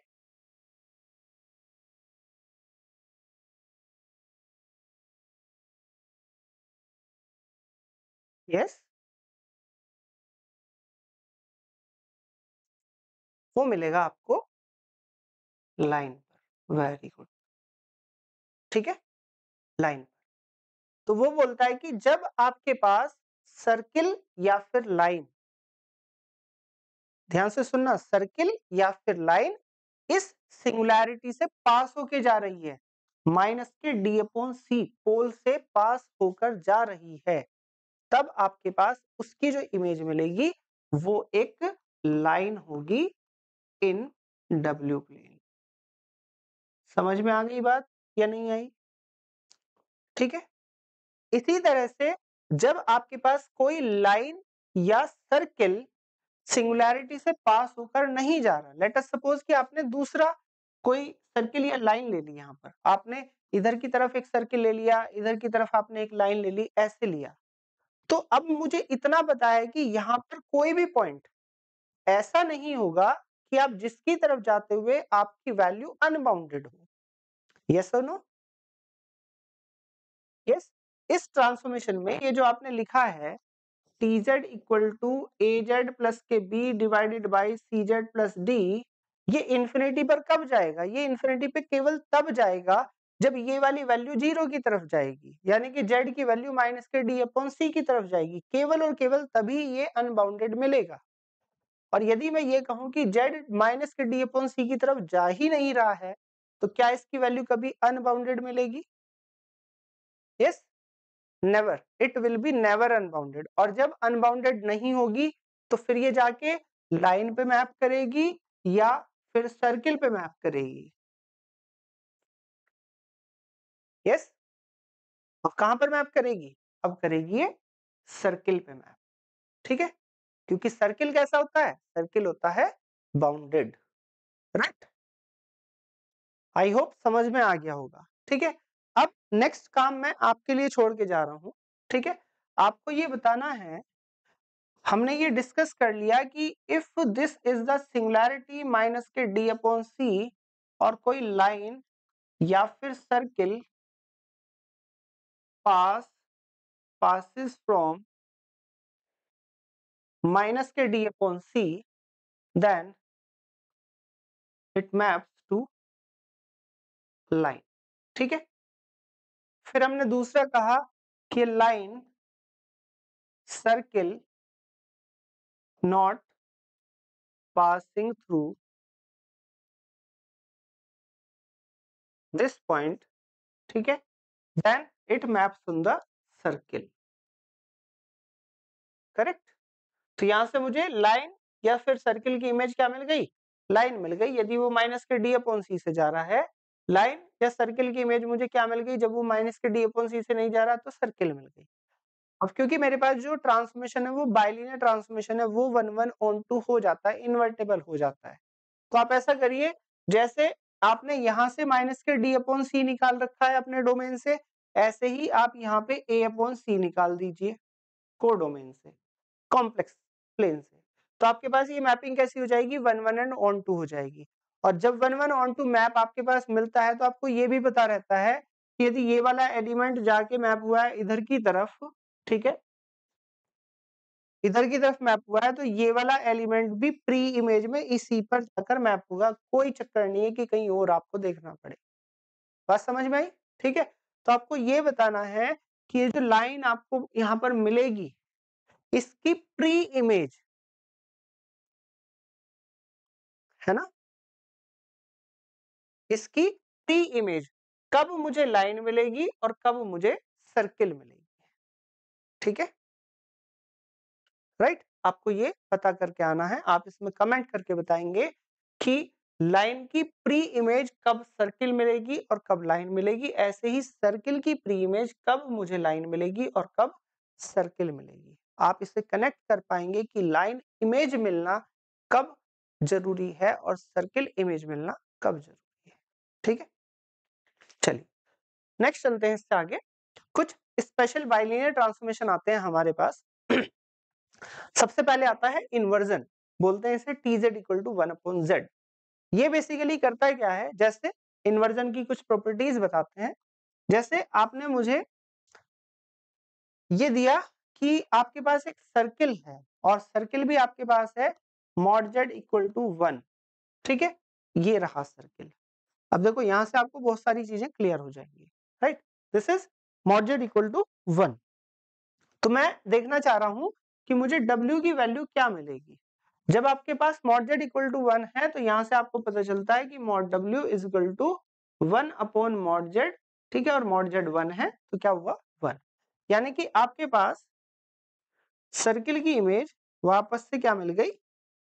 सर्किल मिल गई और यूनिट सर्किल की यूनिट सर्किल मिली। जब आपके पास mod z less than one है, यानी कि यूनिट डिस्क ओपन डिस्क की बात कर रहे हैं आप तो फिर इसकी इमेज क्या मिलती है? क्योंकि मॉडजेड लेस देन वन है तो वन अपॉन मॉडजेड कितना हो जाएगा?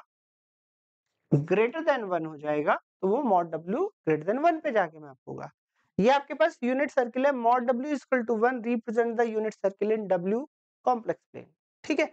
और Z mod Z equal to one in the Z complex plane right यहाँ से आप कह रहे हो mod W greater than one यानी कि जो इसका इनसाइड वाला पार्ट है, वो कहाँ जाकर मैप हो रहा है? इसके आउटसाइड पे। करेक्ट? और जब आप मॉडजेड ग्रेटर देन वन लेकर चलोगे तो यहाँ पर क्या आ जाएगा? Mod W less than one. यानी कि जो इसका बाहर वाला पार्ट है, ये। ठीक है? ये कहाँ जाके मैप होगा? ये अब की बार इनसाइड में जाके मैप होगा। करेक्ट? बात समझ में आई? तो ये इनसाइड में जाके मैप हुआ। तो इसी तरह से जब आप कोई दूसरा सर्किल बनाएँगे mod z equal to two तो वो आपको mod W equal to one upon two पे मैप करेगा। मतलब आप जैसे जैसे बड़ा सर्किल करोगे, वो इसके अंदर आता चला जाएगा, क्योंकि बाहर वाले पॉइंट अंदर आ रहे हैं। ठीक है? जैसे जैसे आप छोटा करोगे तो वो बाहर पहुँच जाएगा। आपने mod Z equal to one by two करा तो वहाँ पे W equal mod W to two मिलेगा, यानी कि वो बन जाएगा आपके पास बड़ा सर्किल करेक्ट तो यहाँ पे आपने देख लिया कि सर्किल की इमेज आपको सर्किल बड़े आराम से मिल रही है। But the main concern is not about this circle which are not passing through origin concern कहाँ से जनरेट होगा? कंसर्न जनरेट होगा जब ट्रांसफॉर्मेशन की जो सिंगुलैरिटी है, वहाँ से आपके पास लाइन या फिर सर्किल गुजर रहा हो तो। जैसे यहाँ से आपने कहा कि W is equal to one upon z है और अब आप एक सर्किल ऐसा लेकर आइए। क्या हो रहा है ये? बार बार camera.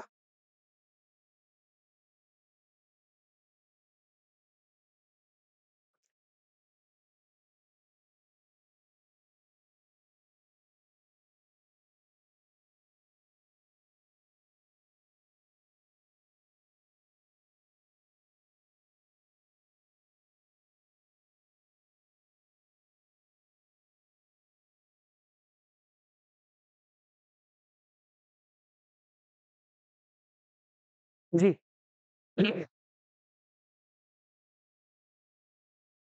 W equal to one upon z आपका ज़ीरो से जाके मैप होता है, ठीक है? ज़ीरो से जा रही है। आपके पास एक सर्किल लेकर आए आप, ठीक है? इसके लिए देख लीजिए।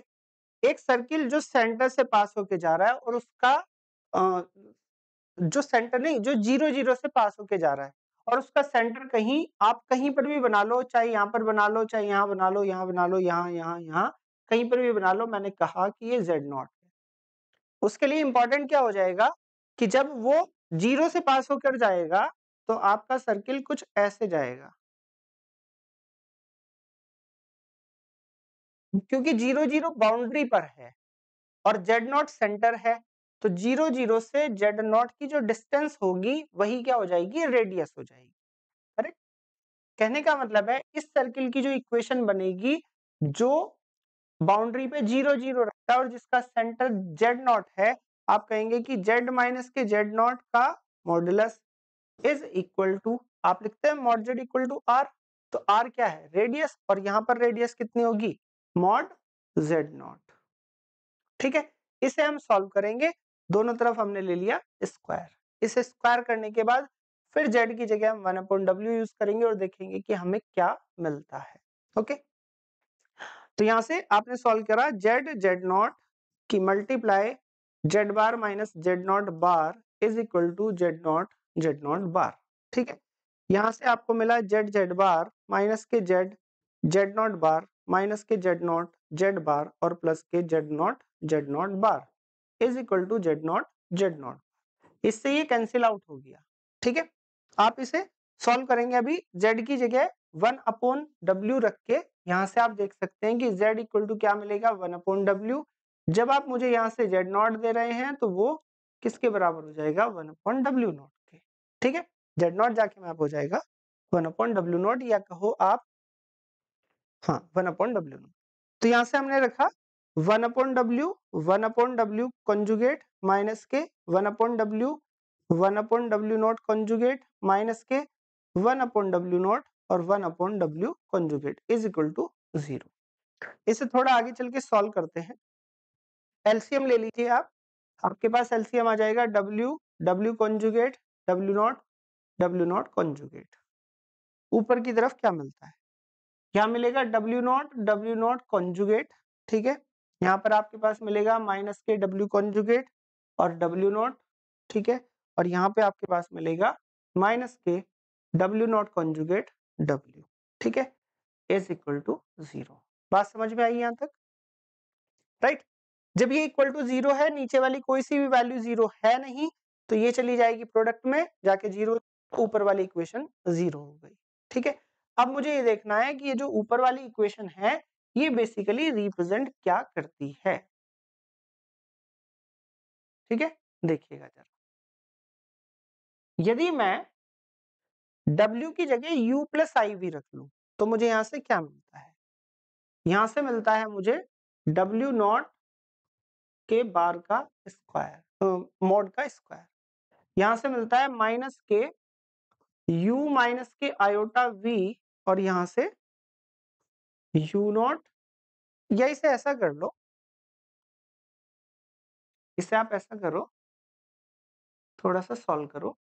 देखो बेसिकली ये जो दोनों नंबर हैं, ये वाले जो दोनों नंबर ये आपस में एक दूसरे के कंजुगेट हैं।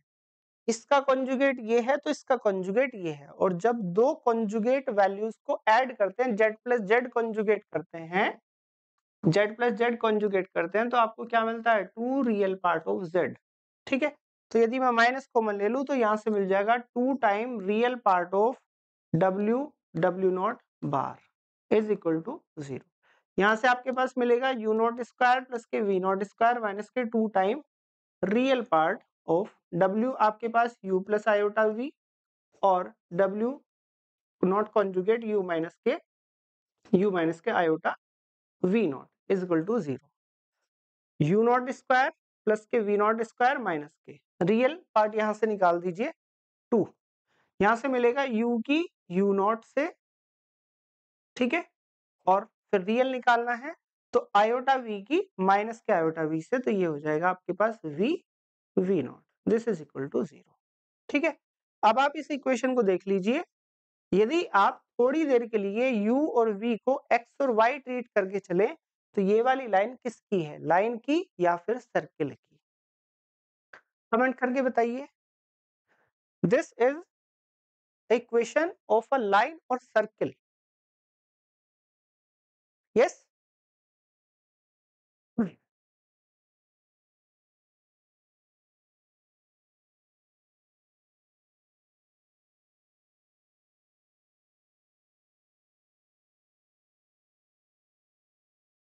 ये वाली जो हमें सबसे लास्ट में इक्वेशन मिली है ये आपको लाइन रिप्रेजेंट करेगी या फिर एक सर्किल रिप्रेजेंट करेगी?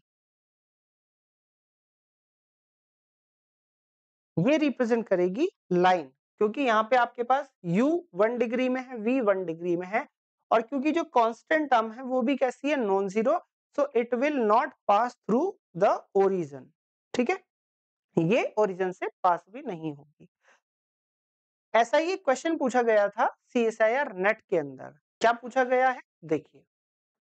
उसने कहा है कि आपके पास एक मोबियस ट्रांसफॉर्मेशन दिया गया है। F z equal to one upon z z belongs to C and z is nonzero if capital C denote a circle with positive radius passing through the origin जो ओरिजन से pass होके जाता है, एक ऐसा सर्किल दिया गया है then f maps that circle minus zero मतलब उसने पूछा कि आपके पास मैपिंग है वन अपॉन जेड कोई एक सर्किल है जो ज़ीरो से पास होकर जा रहा है, ठीक है ज़ीरो से पास होकर जा रहा है, या हो सकता है कि ये वाला सर्किल हो हो सकता है कि कहीं ऐसा सर्किल हो, कोई भी सर्किल हो सकता है।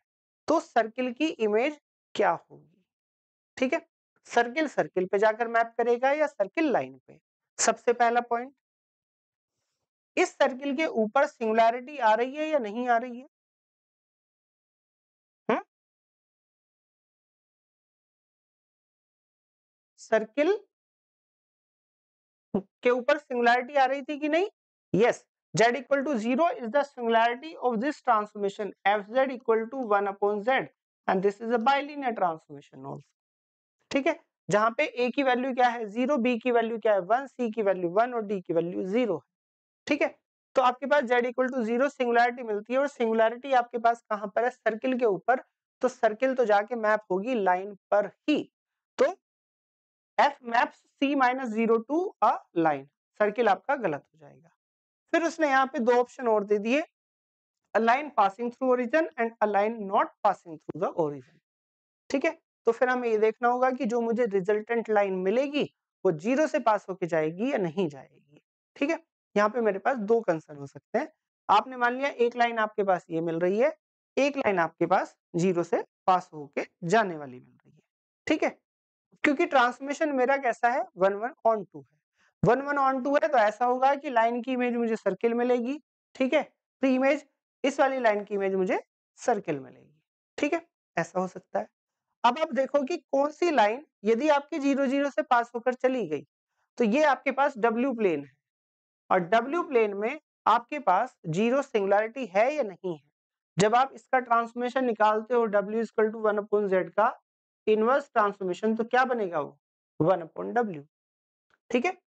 One upon W W is equal to zero, आपकी सिंगुलरिटी हो गई। मतलब कोई भी लाइन यदि डब्ल्यू प्लेन के अंदर ज़ीरो से पास होकर जाएगी तो उसकी प्री इमेज हमेशा लाइन ही मिलेगी, सर्किल नहीं मिल सकती। And that's why you can say that कि line will not pass through the origin आपने अभी अभी कैलकुलेशन में भी देखा पीछे, है ना? इसके अंदर यहाँ पे आपके पास u naught square plus v naught square मिला। ये कांस्टेंट है इसे देख के सर्किल मत बताना क्योंकि कुछ बच्चों ने सर्किल बताया है। ठीक है? तो u naught plus v naught square ये आपके पास नॉन ज़ीरो मिलेगा तो ये वाली लाइन आपकी ज़ीरो से पास होकर नहीं जाएगी। ठीक है? तो कौन सा हो जाएगा? Line not passing through the origin समझ में आया सभी के?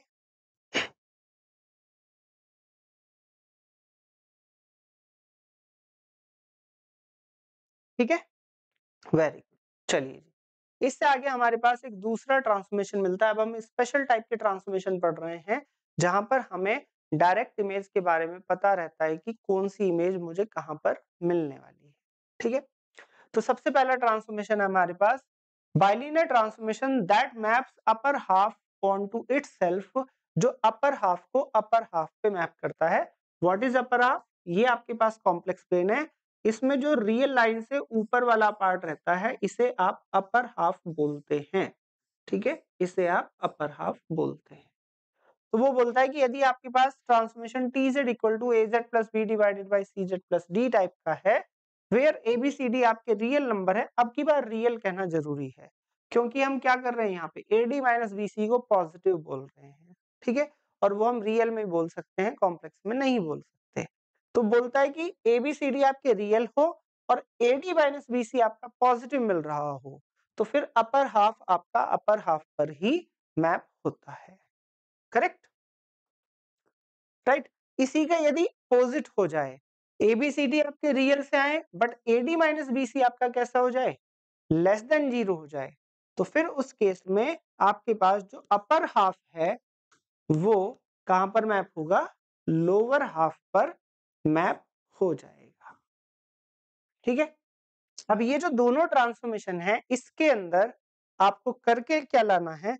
सबसे पहले इनका इनवर्स ट्रांसफॉर्मेशन बनाना है। ये आपको दिया है T z equal to a z plus b आपको बनाना है यहाँ से z equal to something type से। फिर आप उसे सिंप्लीफाई करोगे डब्ल्यू की जगह यू प्लस आई वी रख के, है ना? और ये काम करके मुझे बताना ही है। फिर आप यहाँ से मुझे बताओगे कि जब z इक्वल टू आपका x प्लस आयोटा वाई है और y आपका ज़ीरो है राइट तो आपके पास जो राइट हैंड साइड में रियल पार्ट है, वहाँ से आपको क्या इमेज मिलती है? ठीक है? मतलब कहने का है कि y इक्वल टू ज़ीरो आप कहाँ पर मैप होता है? ठीक है? कहाँ पर मैप होगा? ये बताना है। सेम काम आपको दोनों ही क्वेश्चन में करना है, इसके अंदर भी और इसके अंदर भी। ठीक है? एक ही बार में आपके साथ हो जाएगा काम।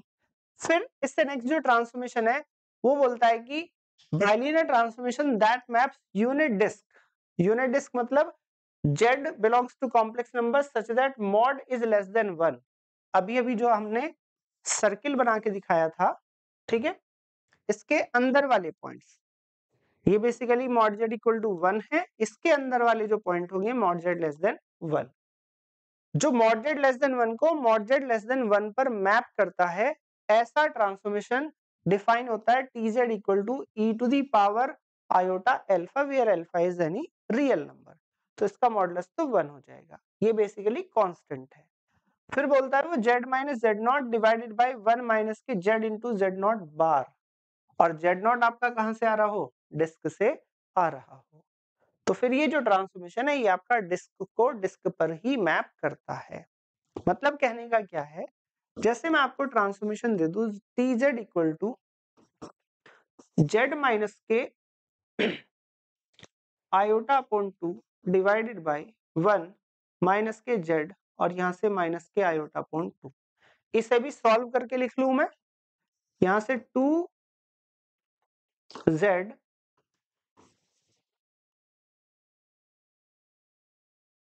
two z minus के आई डिवाइडेड बाई टू हो जाएगा और नीचे से आपके पास टू प्लस के आयोटा जेड। टू से टू कैंसिल हो, हो गया। अभी कुल मिला के ये जो ट्रांसफॉर्मेशन है ये स्टैंडर्ड फॉर्मेट में अब लिख दिया a z plus b divided by c z plus d. But आपको ये नहीं पता कि इसे आप ये कह सकते इसमें जो जेड नॉट है वो आपका कहाँ से आ रहा है? वो डिस्क के अंदर से आ रहा है। तो जब भी आपको चार स्पेशल टाइप दे रखी हैं, वहाँ पे आपको ये पता करना है कि ये ट्रांसफॉर्मेशन किस टाइप का है तो सबसे पहले आपको उसे स्टैंडर्ड तरीके में लिखना होगा जिस टाइप के वो आपके ट्रांसफॉर्मेशन है। जैसे यहाँ पे जो ट्रांसफॉर्मेशन है, वो z minus z naught divided by one minus z into z naught conjugate के फॉर्मेट में है तो ऊपर से आपको जेड को किसी भी अदर कांस्टेंट से फ्री करना पड़ेगा मोनिक बनाना पड़ेगा, यानी कि यहाँ से जेड को टू कॉमन लेना होगा। तो आपके पास मिल जाएगा जेड माइनस के आयोटा पॉइंट टू ठीक है?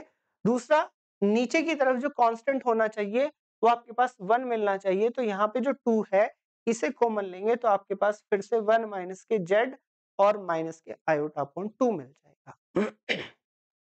ठीक है? समझ में आया बात? ठीक? तो यदि आपके पास ये ट्रांसफॉर्मेशन दिया हुआ है तो ये ट्रांसफॉर्मेशन कंफर्म क्या करेगा?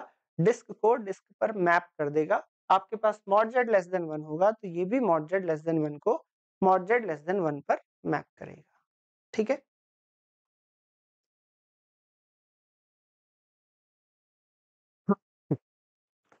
मैंने होमवर्क बोला था कि y equal to zero line कहाँ जाकर मैप होती है, इन दोनों ही ट्रांसफॉर्मेशन में ये आपको बताना है। ठीक है? फिर इससे नेक्स्ट क्वेश्चन पूछा गया था C S I R NET के अंदर। देखिए क्या पूछा उसने?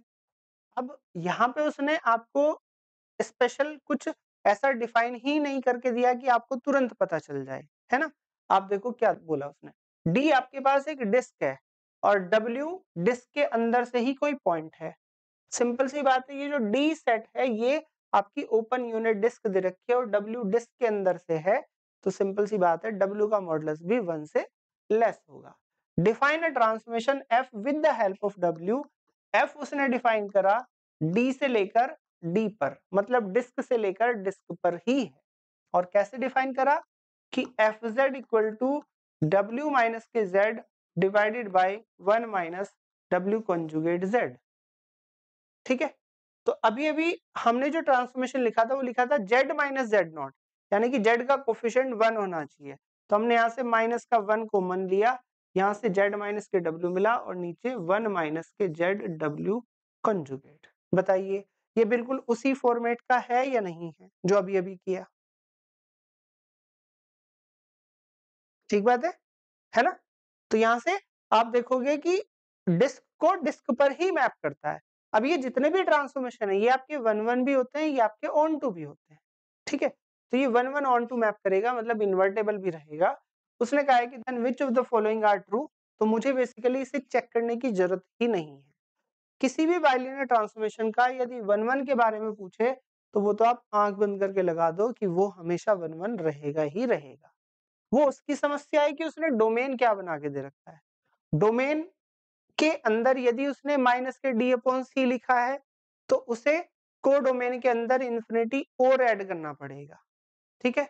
और यदि उसने नहीं लिखा तो मेरा ट्रांसफॉर्मेशन वन वन ऑलवेज है करेक्ट तो आपके पास बाइलिनियर ट्रांसफॉर्मेशन हमेशा वन वन रहेगा ओन टू हो भी सकता है, नहीं भी हो सकता, ठीक है?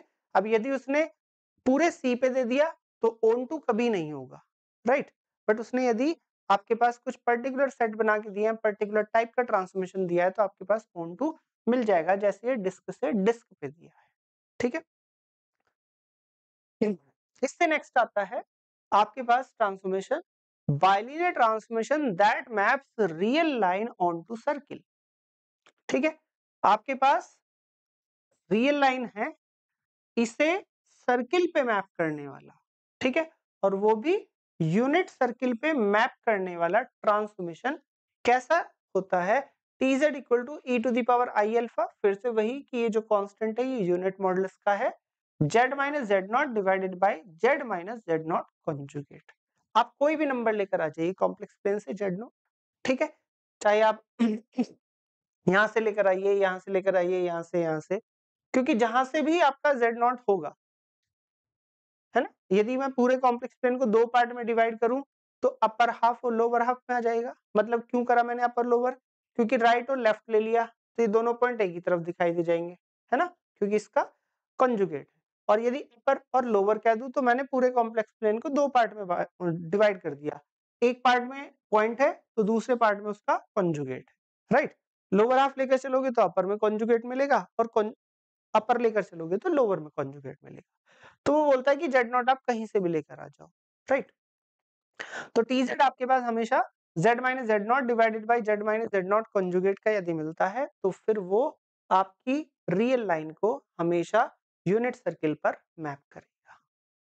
इज़ इट क्लियर समझ में आई बात सभी के? Yes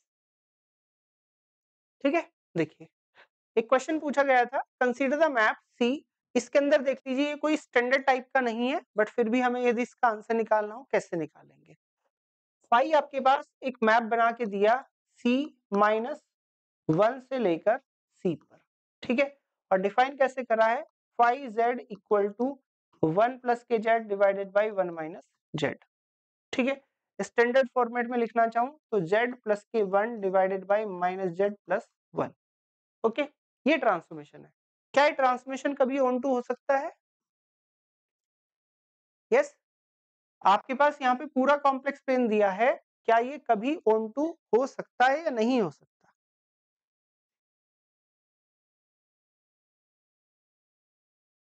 it is never onto है ना? अभी मैंने बताया आपको कि जो आपके पास ए अपॉन सी है, उसकी कोई भी प्री इमेज आपको नहीं मिलेगी, ठीक है?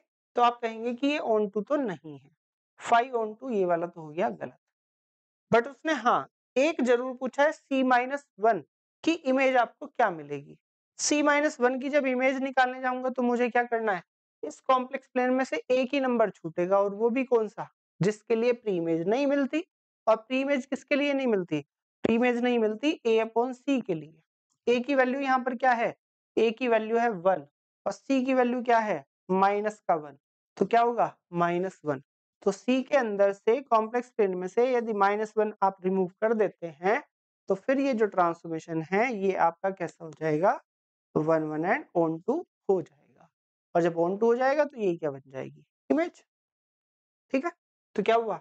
इसका ये वाला ऑप्शन सही हो गया। ठीक, फिर इसके आगे देखते हैं। फ़र्स्ट वाले में उसने क्या पूछा है? उसने आपको यहाँ पर दिए डिस्क राइट वो भी कैसी? यूनिट डिस्क और कह रहा है कि यूनिट डिस्क की इमेज वापस से यूनिट डिस्क के अंदर चली जाएगी। यूनिट डिस्क की इमेज यूनिट डिस्क के अंदर जाए, इसके लिए मुझे क्या चाहिए? इसके लिए मुझे चाहिए z minus z naught divided by one minus के z z naught conjugate. But क्या ये ऐसा है यहाँ पर? यहाँ पे जेड नॉट की वैल्यू क्या है? यहाँ पे जेड नॉट की वैल्यू है माइनस की वन। और जेड नॉट का फिर से कॉन्जुगेट करूँगा तो फिर से क्या मिलेगा? Minus one. That means it is not of the type correct तो ये आपको डिस्क की में डिस्क नहीं देगा। फिर इसने यहाँ पर पूछा है कि real part less than zero इसे देखते हैं। जब भी आपके पास कोई बाइलिनियर ट्रांसफॉर्मेशन दिया जाता है और वो इस तरह से आपसे पूछ रहा है, कुछ भी इमेज पूछ सकता है, कोई मैटर नहीं है उसमें, है ना? कि वो आपसे स्टैंडर्ड टाइप का ही कोई डिस्कस करे, कैसे भी पूछ सकता है। तो आपको क्या करना है, वहाँ से इनवर्स ट्रांसफॉर्मेशन निकाल के तब सॉल्व करना है। जैसे हमने अभी लिखा था इसे, कि ये मिलेगा आपको z plus one divided by minus के z प्लस वन तो आपकी जो मैट्रिक्स होगी वो बनेगी one one minus one one तो मैं यहाँ पे इसका इनवर्स ट्रांसफॉर्मेशन बना रहा हूँ, देखिए। क्या जाएगा? W plus one divided by अच्छा पहले तो इनवर्स मैट्रिक्स निकाल लो। तो यहाँ पे आपके डायगनल आएगा, यहाँ पे आपके पास माइनस वन और यहाँ पे आपके पास प्लस वन तो यहाँ पे हो जाएगा w minus one divided by W plus one W की जगह आपने क्या करा? U प्लस आई वी रख लिया, है ना? ओके क्योंकि रियल पार्ट की बात करिए तो मुझे इसका रियल पार्ट निकालना पड़ेगा, यानी कि इसका भी रियल पार्ट निकालना पड़ेगा। तो यहाँ से आपने करा u प्लस आयोटा v के one divided by u plus iota v plus one conjugate से ऊपर मल्टीप्लाई करेंगे तो u माइनस वी प्लस के आयोटा v, ठीक है? नीचे का कॉन्जुगेट होगा u प्लस वन माइनस के आयोटा नीचे आपका हो जाएगा u प्लस वन का स्क्वायर प्लस के v स्क्वायर ओके यहाँ से आप सॉल्व करोगे u माइनस वन की u प्लस वन के साथ हो जाएगी तो u स्क्वायर माइनस वन ठीक है, रियल पार्ट इकट्ठे कर ले।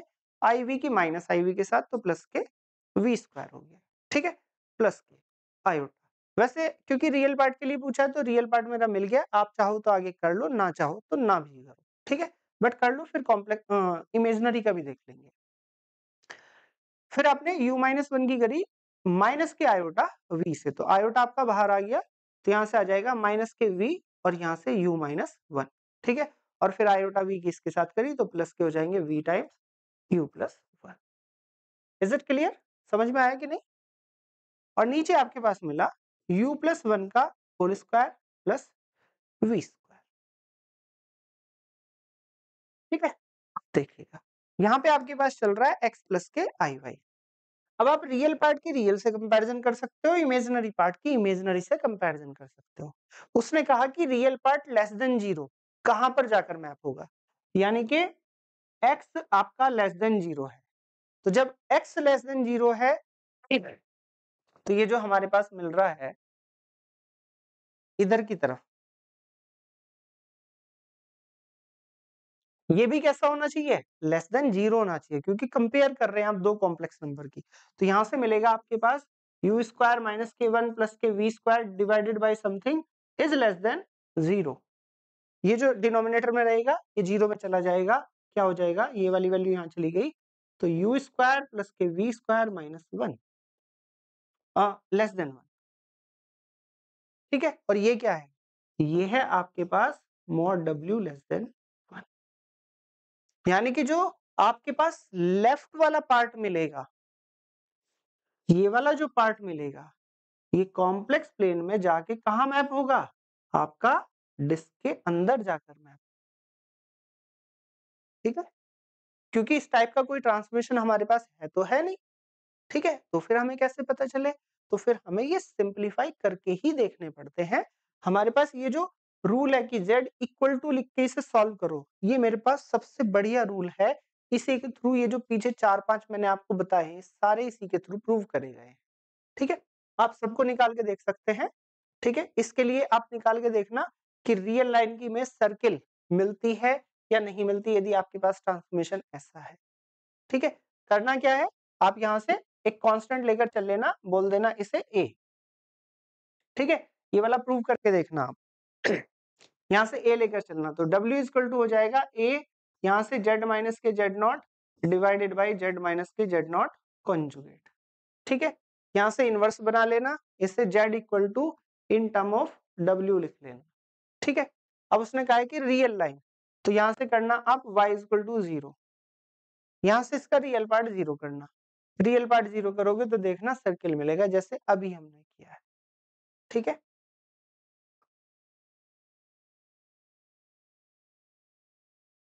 हाँ तो फॉल्स हो गया ना ये तो। ये भी गलत है, ये भी गलत है, ये भी गलत है, केवल ये वाला सही है। ठीक है? मैं आपको बता रहा था कि real part less than zero है, क्योंकि हमने ऐसा कुछ नहीं पढ़ा। ये डिस्क को डिस्क पे ये भी पढ़ लिया, ये भी पढ़ लिया, ये भी पढ़ लिया, ये नहीं पढ़ा। तो इसलिए आपको ये सॉल्व कराया। ठीक है? अब एक क्वेश्चन ये वाला और देखिएगा। ठीक है? इसे देखिए क्या कहता है वो। गेट के अंदर आया हुआ क्वेश्चन है। बड़े आराम से समझना। उसने आपको यहाँ पे एक बाइलिनियर मोबियस ट्रांसफॉर्मेशन दे दिया। यहाँ पे उसने z1 one equal to zero z two equal to minus iota और z3 three equal to infinity तीन पॉइंट भी दे दिए।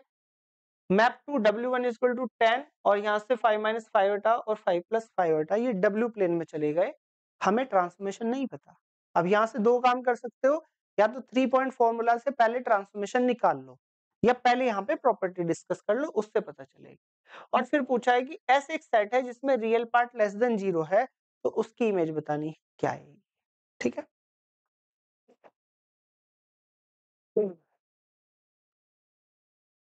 आपके पास ये कॉम्प्लेक्स प्लेन है और आपके पास ये डब्ल्यू प्लेन है। ठीक है? बड़े आराम से समझना, ये क्वेश्चन बहुत इंपॉर्टेंट है। इस वाले क्वेश्चन से आपको बहुत सारी चीज़ें ऐसे क्लियर होंगी कि आप बाइलिनियर ट्रांसमिशन के क्वेश्चन को चुटकियों में सॉल्व करोगे, ठीक है? तीन पॉइंट दिए हुए हैं आपके, पहला पॉइंट है आपके पास ज़ीरो, ठीक है? दूसरा पॉइंट है आपके पास माइनस आयोटा, ठीक है? और तीसरा पॉइंट है इन्फिनिटी। कैन यू डिसाइड कि इन्फिनिटी आपको कहाँ पर मिलेगा? बोलिए। कह सकते हैं? नहीं बता सकते कि इन्फिनिटी आपको कहाँ मिलेगा। तो इन्फिनिटी आप अपनी चॉइस से लेकर चल सकते हैं। अब क्योंकि ये दो पॉइंट दे रखे इन दो पॉइंट से आप सर्किल भी बना सकते हो, सर्किल पे भी हो सकते हैं दो पॉइंट, बट सर्किल पे इन्फिनिटी नहीं हो सकता। ठीक है? इसका आंसर आपको करना है, ध्यान रखना कि क्यों नहीं हो सकता। तो लाइन पे लेकर चलेंगे तो इन दो पॉइंट से हम बनाएँगे लाइन। अब लाइन तो ऐसे होगी मतलब ये पूरी वाई एक्सिस हो जाएगी तो इन्फिनिटी इधर भी हो सकता है और इन्फिनिटी इधर भी हो सकता है। तो मैं कहाँ लेकर चलूँगा? ठीक है? इस पे भी बात होगी। अभी आपको सबसे लास्ट में एक बोनस टिप मिलेगी, उससे आपकी बहुत सारी चीज़ें आसान हो जाएँगी। ठीक है? ये जो इन्फिनिटी वाला मैटर है, ये तो तुक्का सॉल्व हो जाएगा। दूसरा उसने दिया तीन पॉइंट पहला पॉइंट दिया W one is equal to ten ये आपको टेन दे दिया टेन दे दिया। मतलब ज़ीरो आपका ये वन है। तो ये यहाँ पे वन पे आके मैप हो गया। ठीक है, ये ज़रूर नंबरिंग ज़रूर लिख लेना। दूसरा दिया है फाइव माइनस फाइव आयोटा। ये आपका दूसरा पॉइंट है, ठीक है? वो मैप हुआ फाइव माइनस के फाइव आयोटा पे। फाइव माइनस फाइव आयोटा कहाँ पर मिलेगा? यहाँ पर। ठीक है? ये आपके पास हो गया फाइव माइनस के फाइव आयोटा।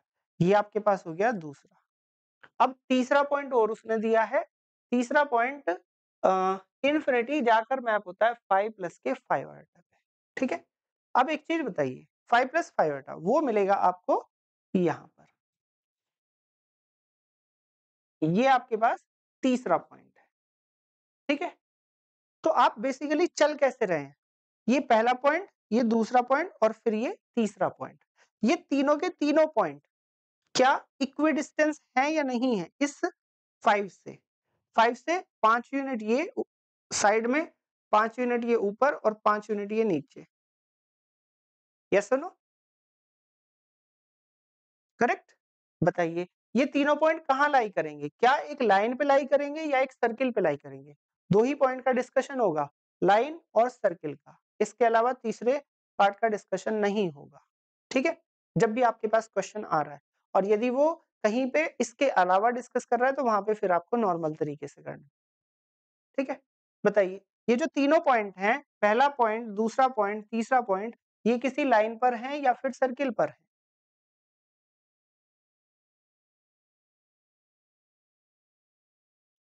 बोलो।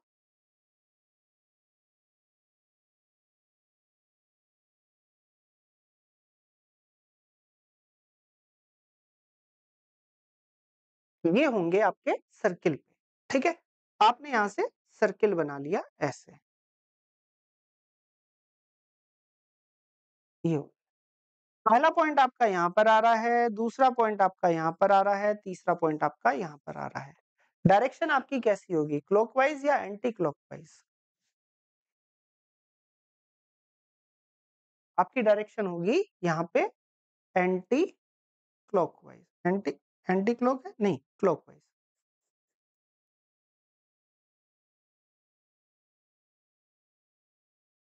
Correct? Direction is clockwise अब आपको यहाँ से एक चीज़ और देखनी है कि वो जो तीसरा पॉइंट मेरा बचा हुआ था, वो मुझे यहाँ से देखना है कि वो तीसरा पॉइंट कहाँ मिलेगा। क्योंकि पहला पॉइंट यहाँ है, दूसरा पॉइंट यहाँ है और फिर उसके बाद तीसरा पॉइंट मिला, ठीक है? इसी तरह से मुझे पहला, दूसरा पॉइंट जो मिल रहा है, उससे आगे की तरफ़ तीसरा पॉइंट मिलेगा मतलब जो मुझे इन्फिनिटी मिलेगा, वो मिलेगा ऊपर की तरफ़ और वो होगा आपका थर्ड पॉइंट यानी कि डायरेक्शन आपकी जैसे इधर की तरफ़ जा रही है वैसे आपकी इधर क्लॉकवाइज चल रही है। Is it clear direction is the most important conclusion in bilinear transmission क्योंकि जब डायरेक्शन आप डिसाइड कर देते हैं तो आपको ये पता चल जाता है कि कौन सी साइड कहाँ पर मैप होगी। ठीक है? राइट तो यहाँ से आप देख रहे हो कि आप चल रहे हो ऐसे ऊपर की तरफ़। तो ये जो आपका है, ये हो जाएगा लेफ़्ट साइड और ये हो जाएगी आपकी राइट साइड इसी तरह से जब आप इस सर्किल पर घूम रहे हैं, ठीक है? तो कौन सा लेफ़्ट होगा, कौन सा राइट होगा?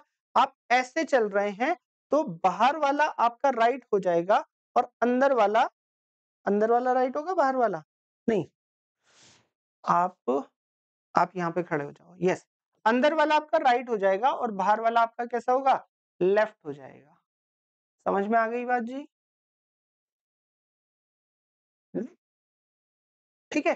तो लेफ़्ट वाला पार्ट लेफ़्ट पे मैप होना है और राइट right वाला पार्ट राइट right पे मैप होना है और जो लाइन है वो सर्किल पे मैप होनी है। ठीक है?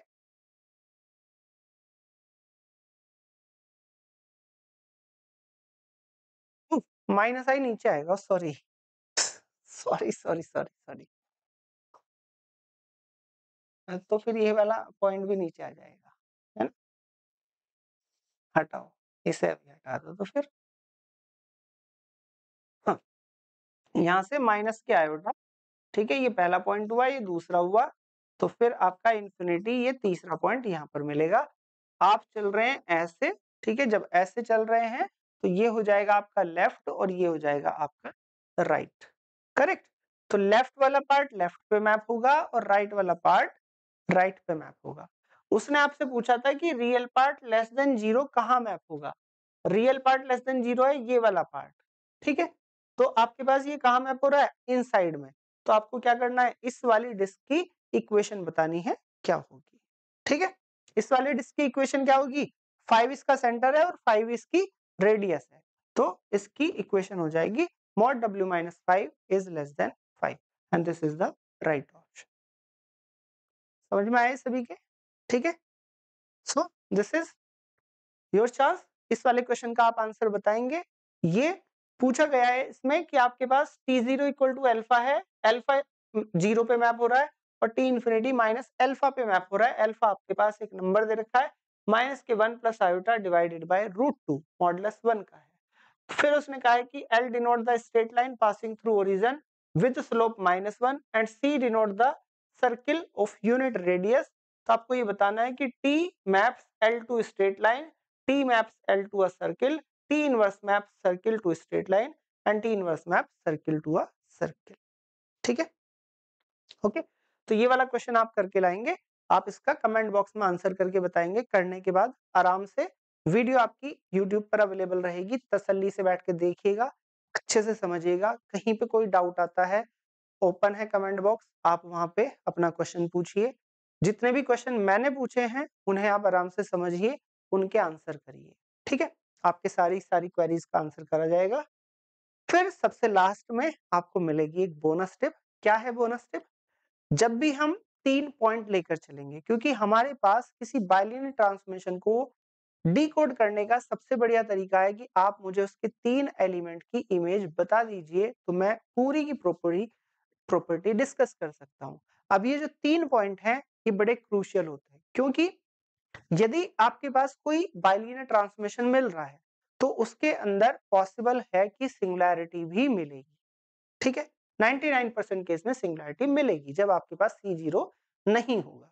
और जब सिंगुलैरिटी मिलेगी तो सिंगुलैरिटी के तरफ़ आते हुए आप रिपल्सिव पैटर्न देखोगे कि जब आपके पास, जैसे अभी हम बात कर रहे थे कि आपके पास एक पॉइंट मिलता है माइनस के डी अपॉन सी। जब आप इधर से आओगे तो भी इंफिनिटी की तरफ़ जा रहे हो और जब आप इधर से आओगे तो भी इंफिनिटी की तरफ़ जा रहे हो।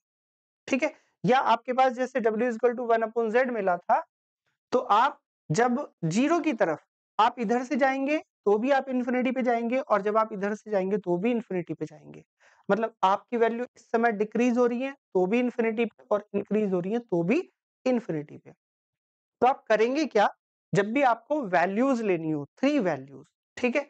Always take three points on one side of singularity either clockwise or anti-clockwise to find out image of a line और सर्किल यदि आपको किसी इमेज किसी लाइन की सर्किल की इमेज निकालनी है लाइन या सर्किल की, तीन पॉइंट की रिक्वायरमेंट है तो सपोज़ करो जैसे हमारे पास यही मिला, है ना? आपने एक चीज़ नोटिस करी z three equal to infinity है तो वो कहाँ जाकर मैप हो रहा है?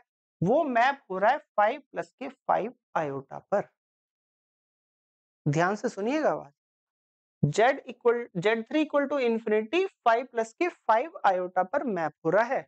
यानी कि जो इसका इन्वर्जन मैप बनेगा, आप जो बनाते हैं D W minus K B divided by minus K C W plus ए इसमें ये जो माइनस के सी डब्ल्यू प्लस ए है, W की वैल्यू 5 प्लस फाइव आयोटा पर ये डिनोमिनेटर ज़ीरो हो रहा है। दैट्स वाई आपको Z की वैल्यू इन्फिनिटी मिल रही है। इसका मतलब ये सिंगुलैरिटी है। इसका मतलब ये हुआ कि आपको इस पॉइंट के एक साइड ही रहना होगा। आप नोटिस करिए, आपने कैसा लिया। आपके पास यहाँ पे जो फाइव प्लस फाइव आयोटा है, वो ये वाला पॉइंट मिला है, ये वाला। और उसने ऐसा नहीं करा कि इस वाले पॉइंट को वन टू थ्री में सेकेंड पॉइंट लिया हो, है ना? मतलब इसके लेफ़्ट में भी पॉइंट और इसके राइट में भी पॉइंट या तो इस पॉइंट को वो पहला पॉइंट लेगा या फिर इस पॉइंट को वो लास्ट वाला पॉइंट लेगा। क्लियर टू एवरीवन तो उसने क्या करा है? इसके केवल और केवल लेफ़्ट साइड में ही उसने पॉइंट लिए हैं। या फिर इसके राइट साइड में ही पॉइंट लिए कभी ऐसा नहीं करेगा कि ये वाला पॉइंट आपका मिड में आएगा। समझ में आ गई बात? ठीक है? यदि आप इस तरह से लेकर चलेंगे तो आपका ट्रांसमिशन बिल्कुल करेक्टली फाइंड आउट होगा और यदि आपने इसमें गड़बड़ कर दी तो फिर आप फंस जाएँगे, आपका आंसर नहीं मिलेगा। ठीक है? चलिए। Thank you so much yes video आपकी अवेलेबल रहेगी। यदि आप जून 24 दिसंबर 24 की तैयारी करने जा रहे हैं तो हमारे लाइव बैच स्टार्ट हो चुके हैं। आप ऐप पर जाकर बैच ज्वाइन कर सकते हैं। ठीक है जी? मिलते हैं आपसे नेक्स्ट वीडियो में। तब तक के लिए thank you so much. Take care. Bye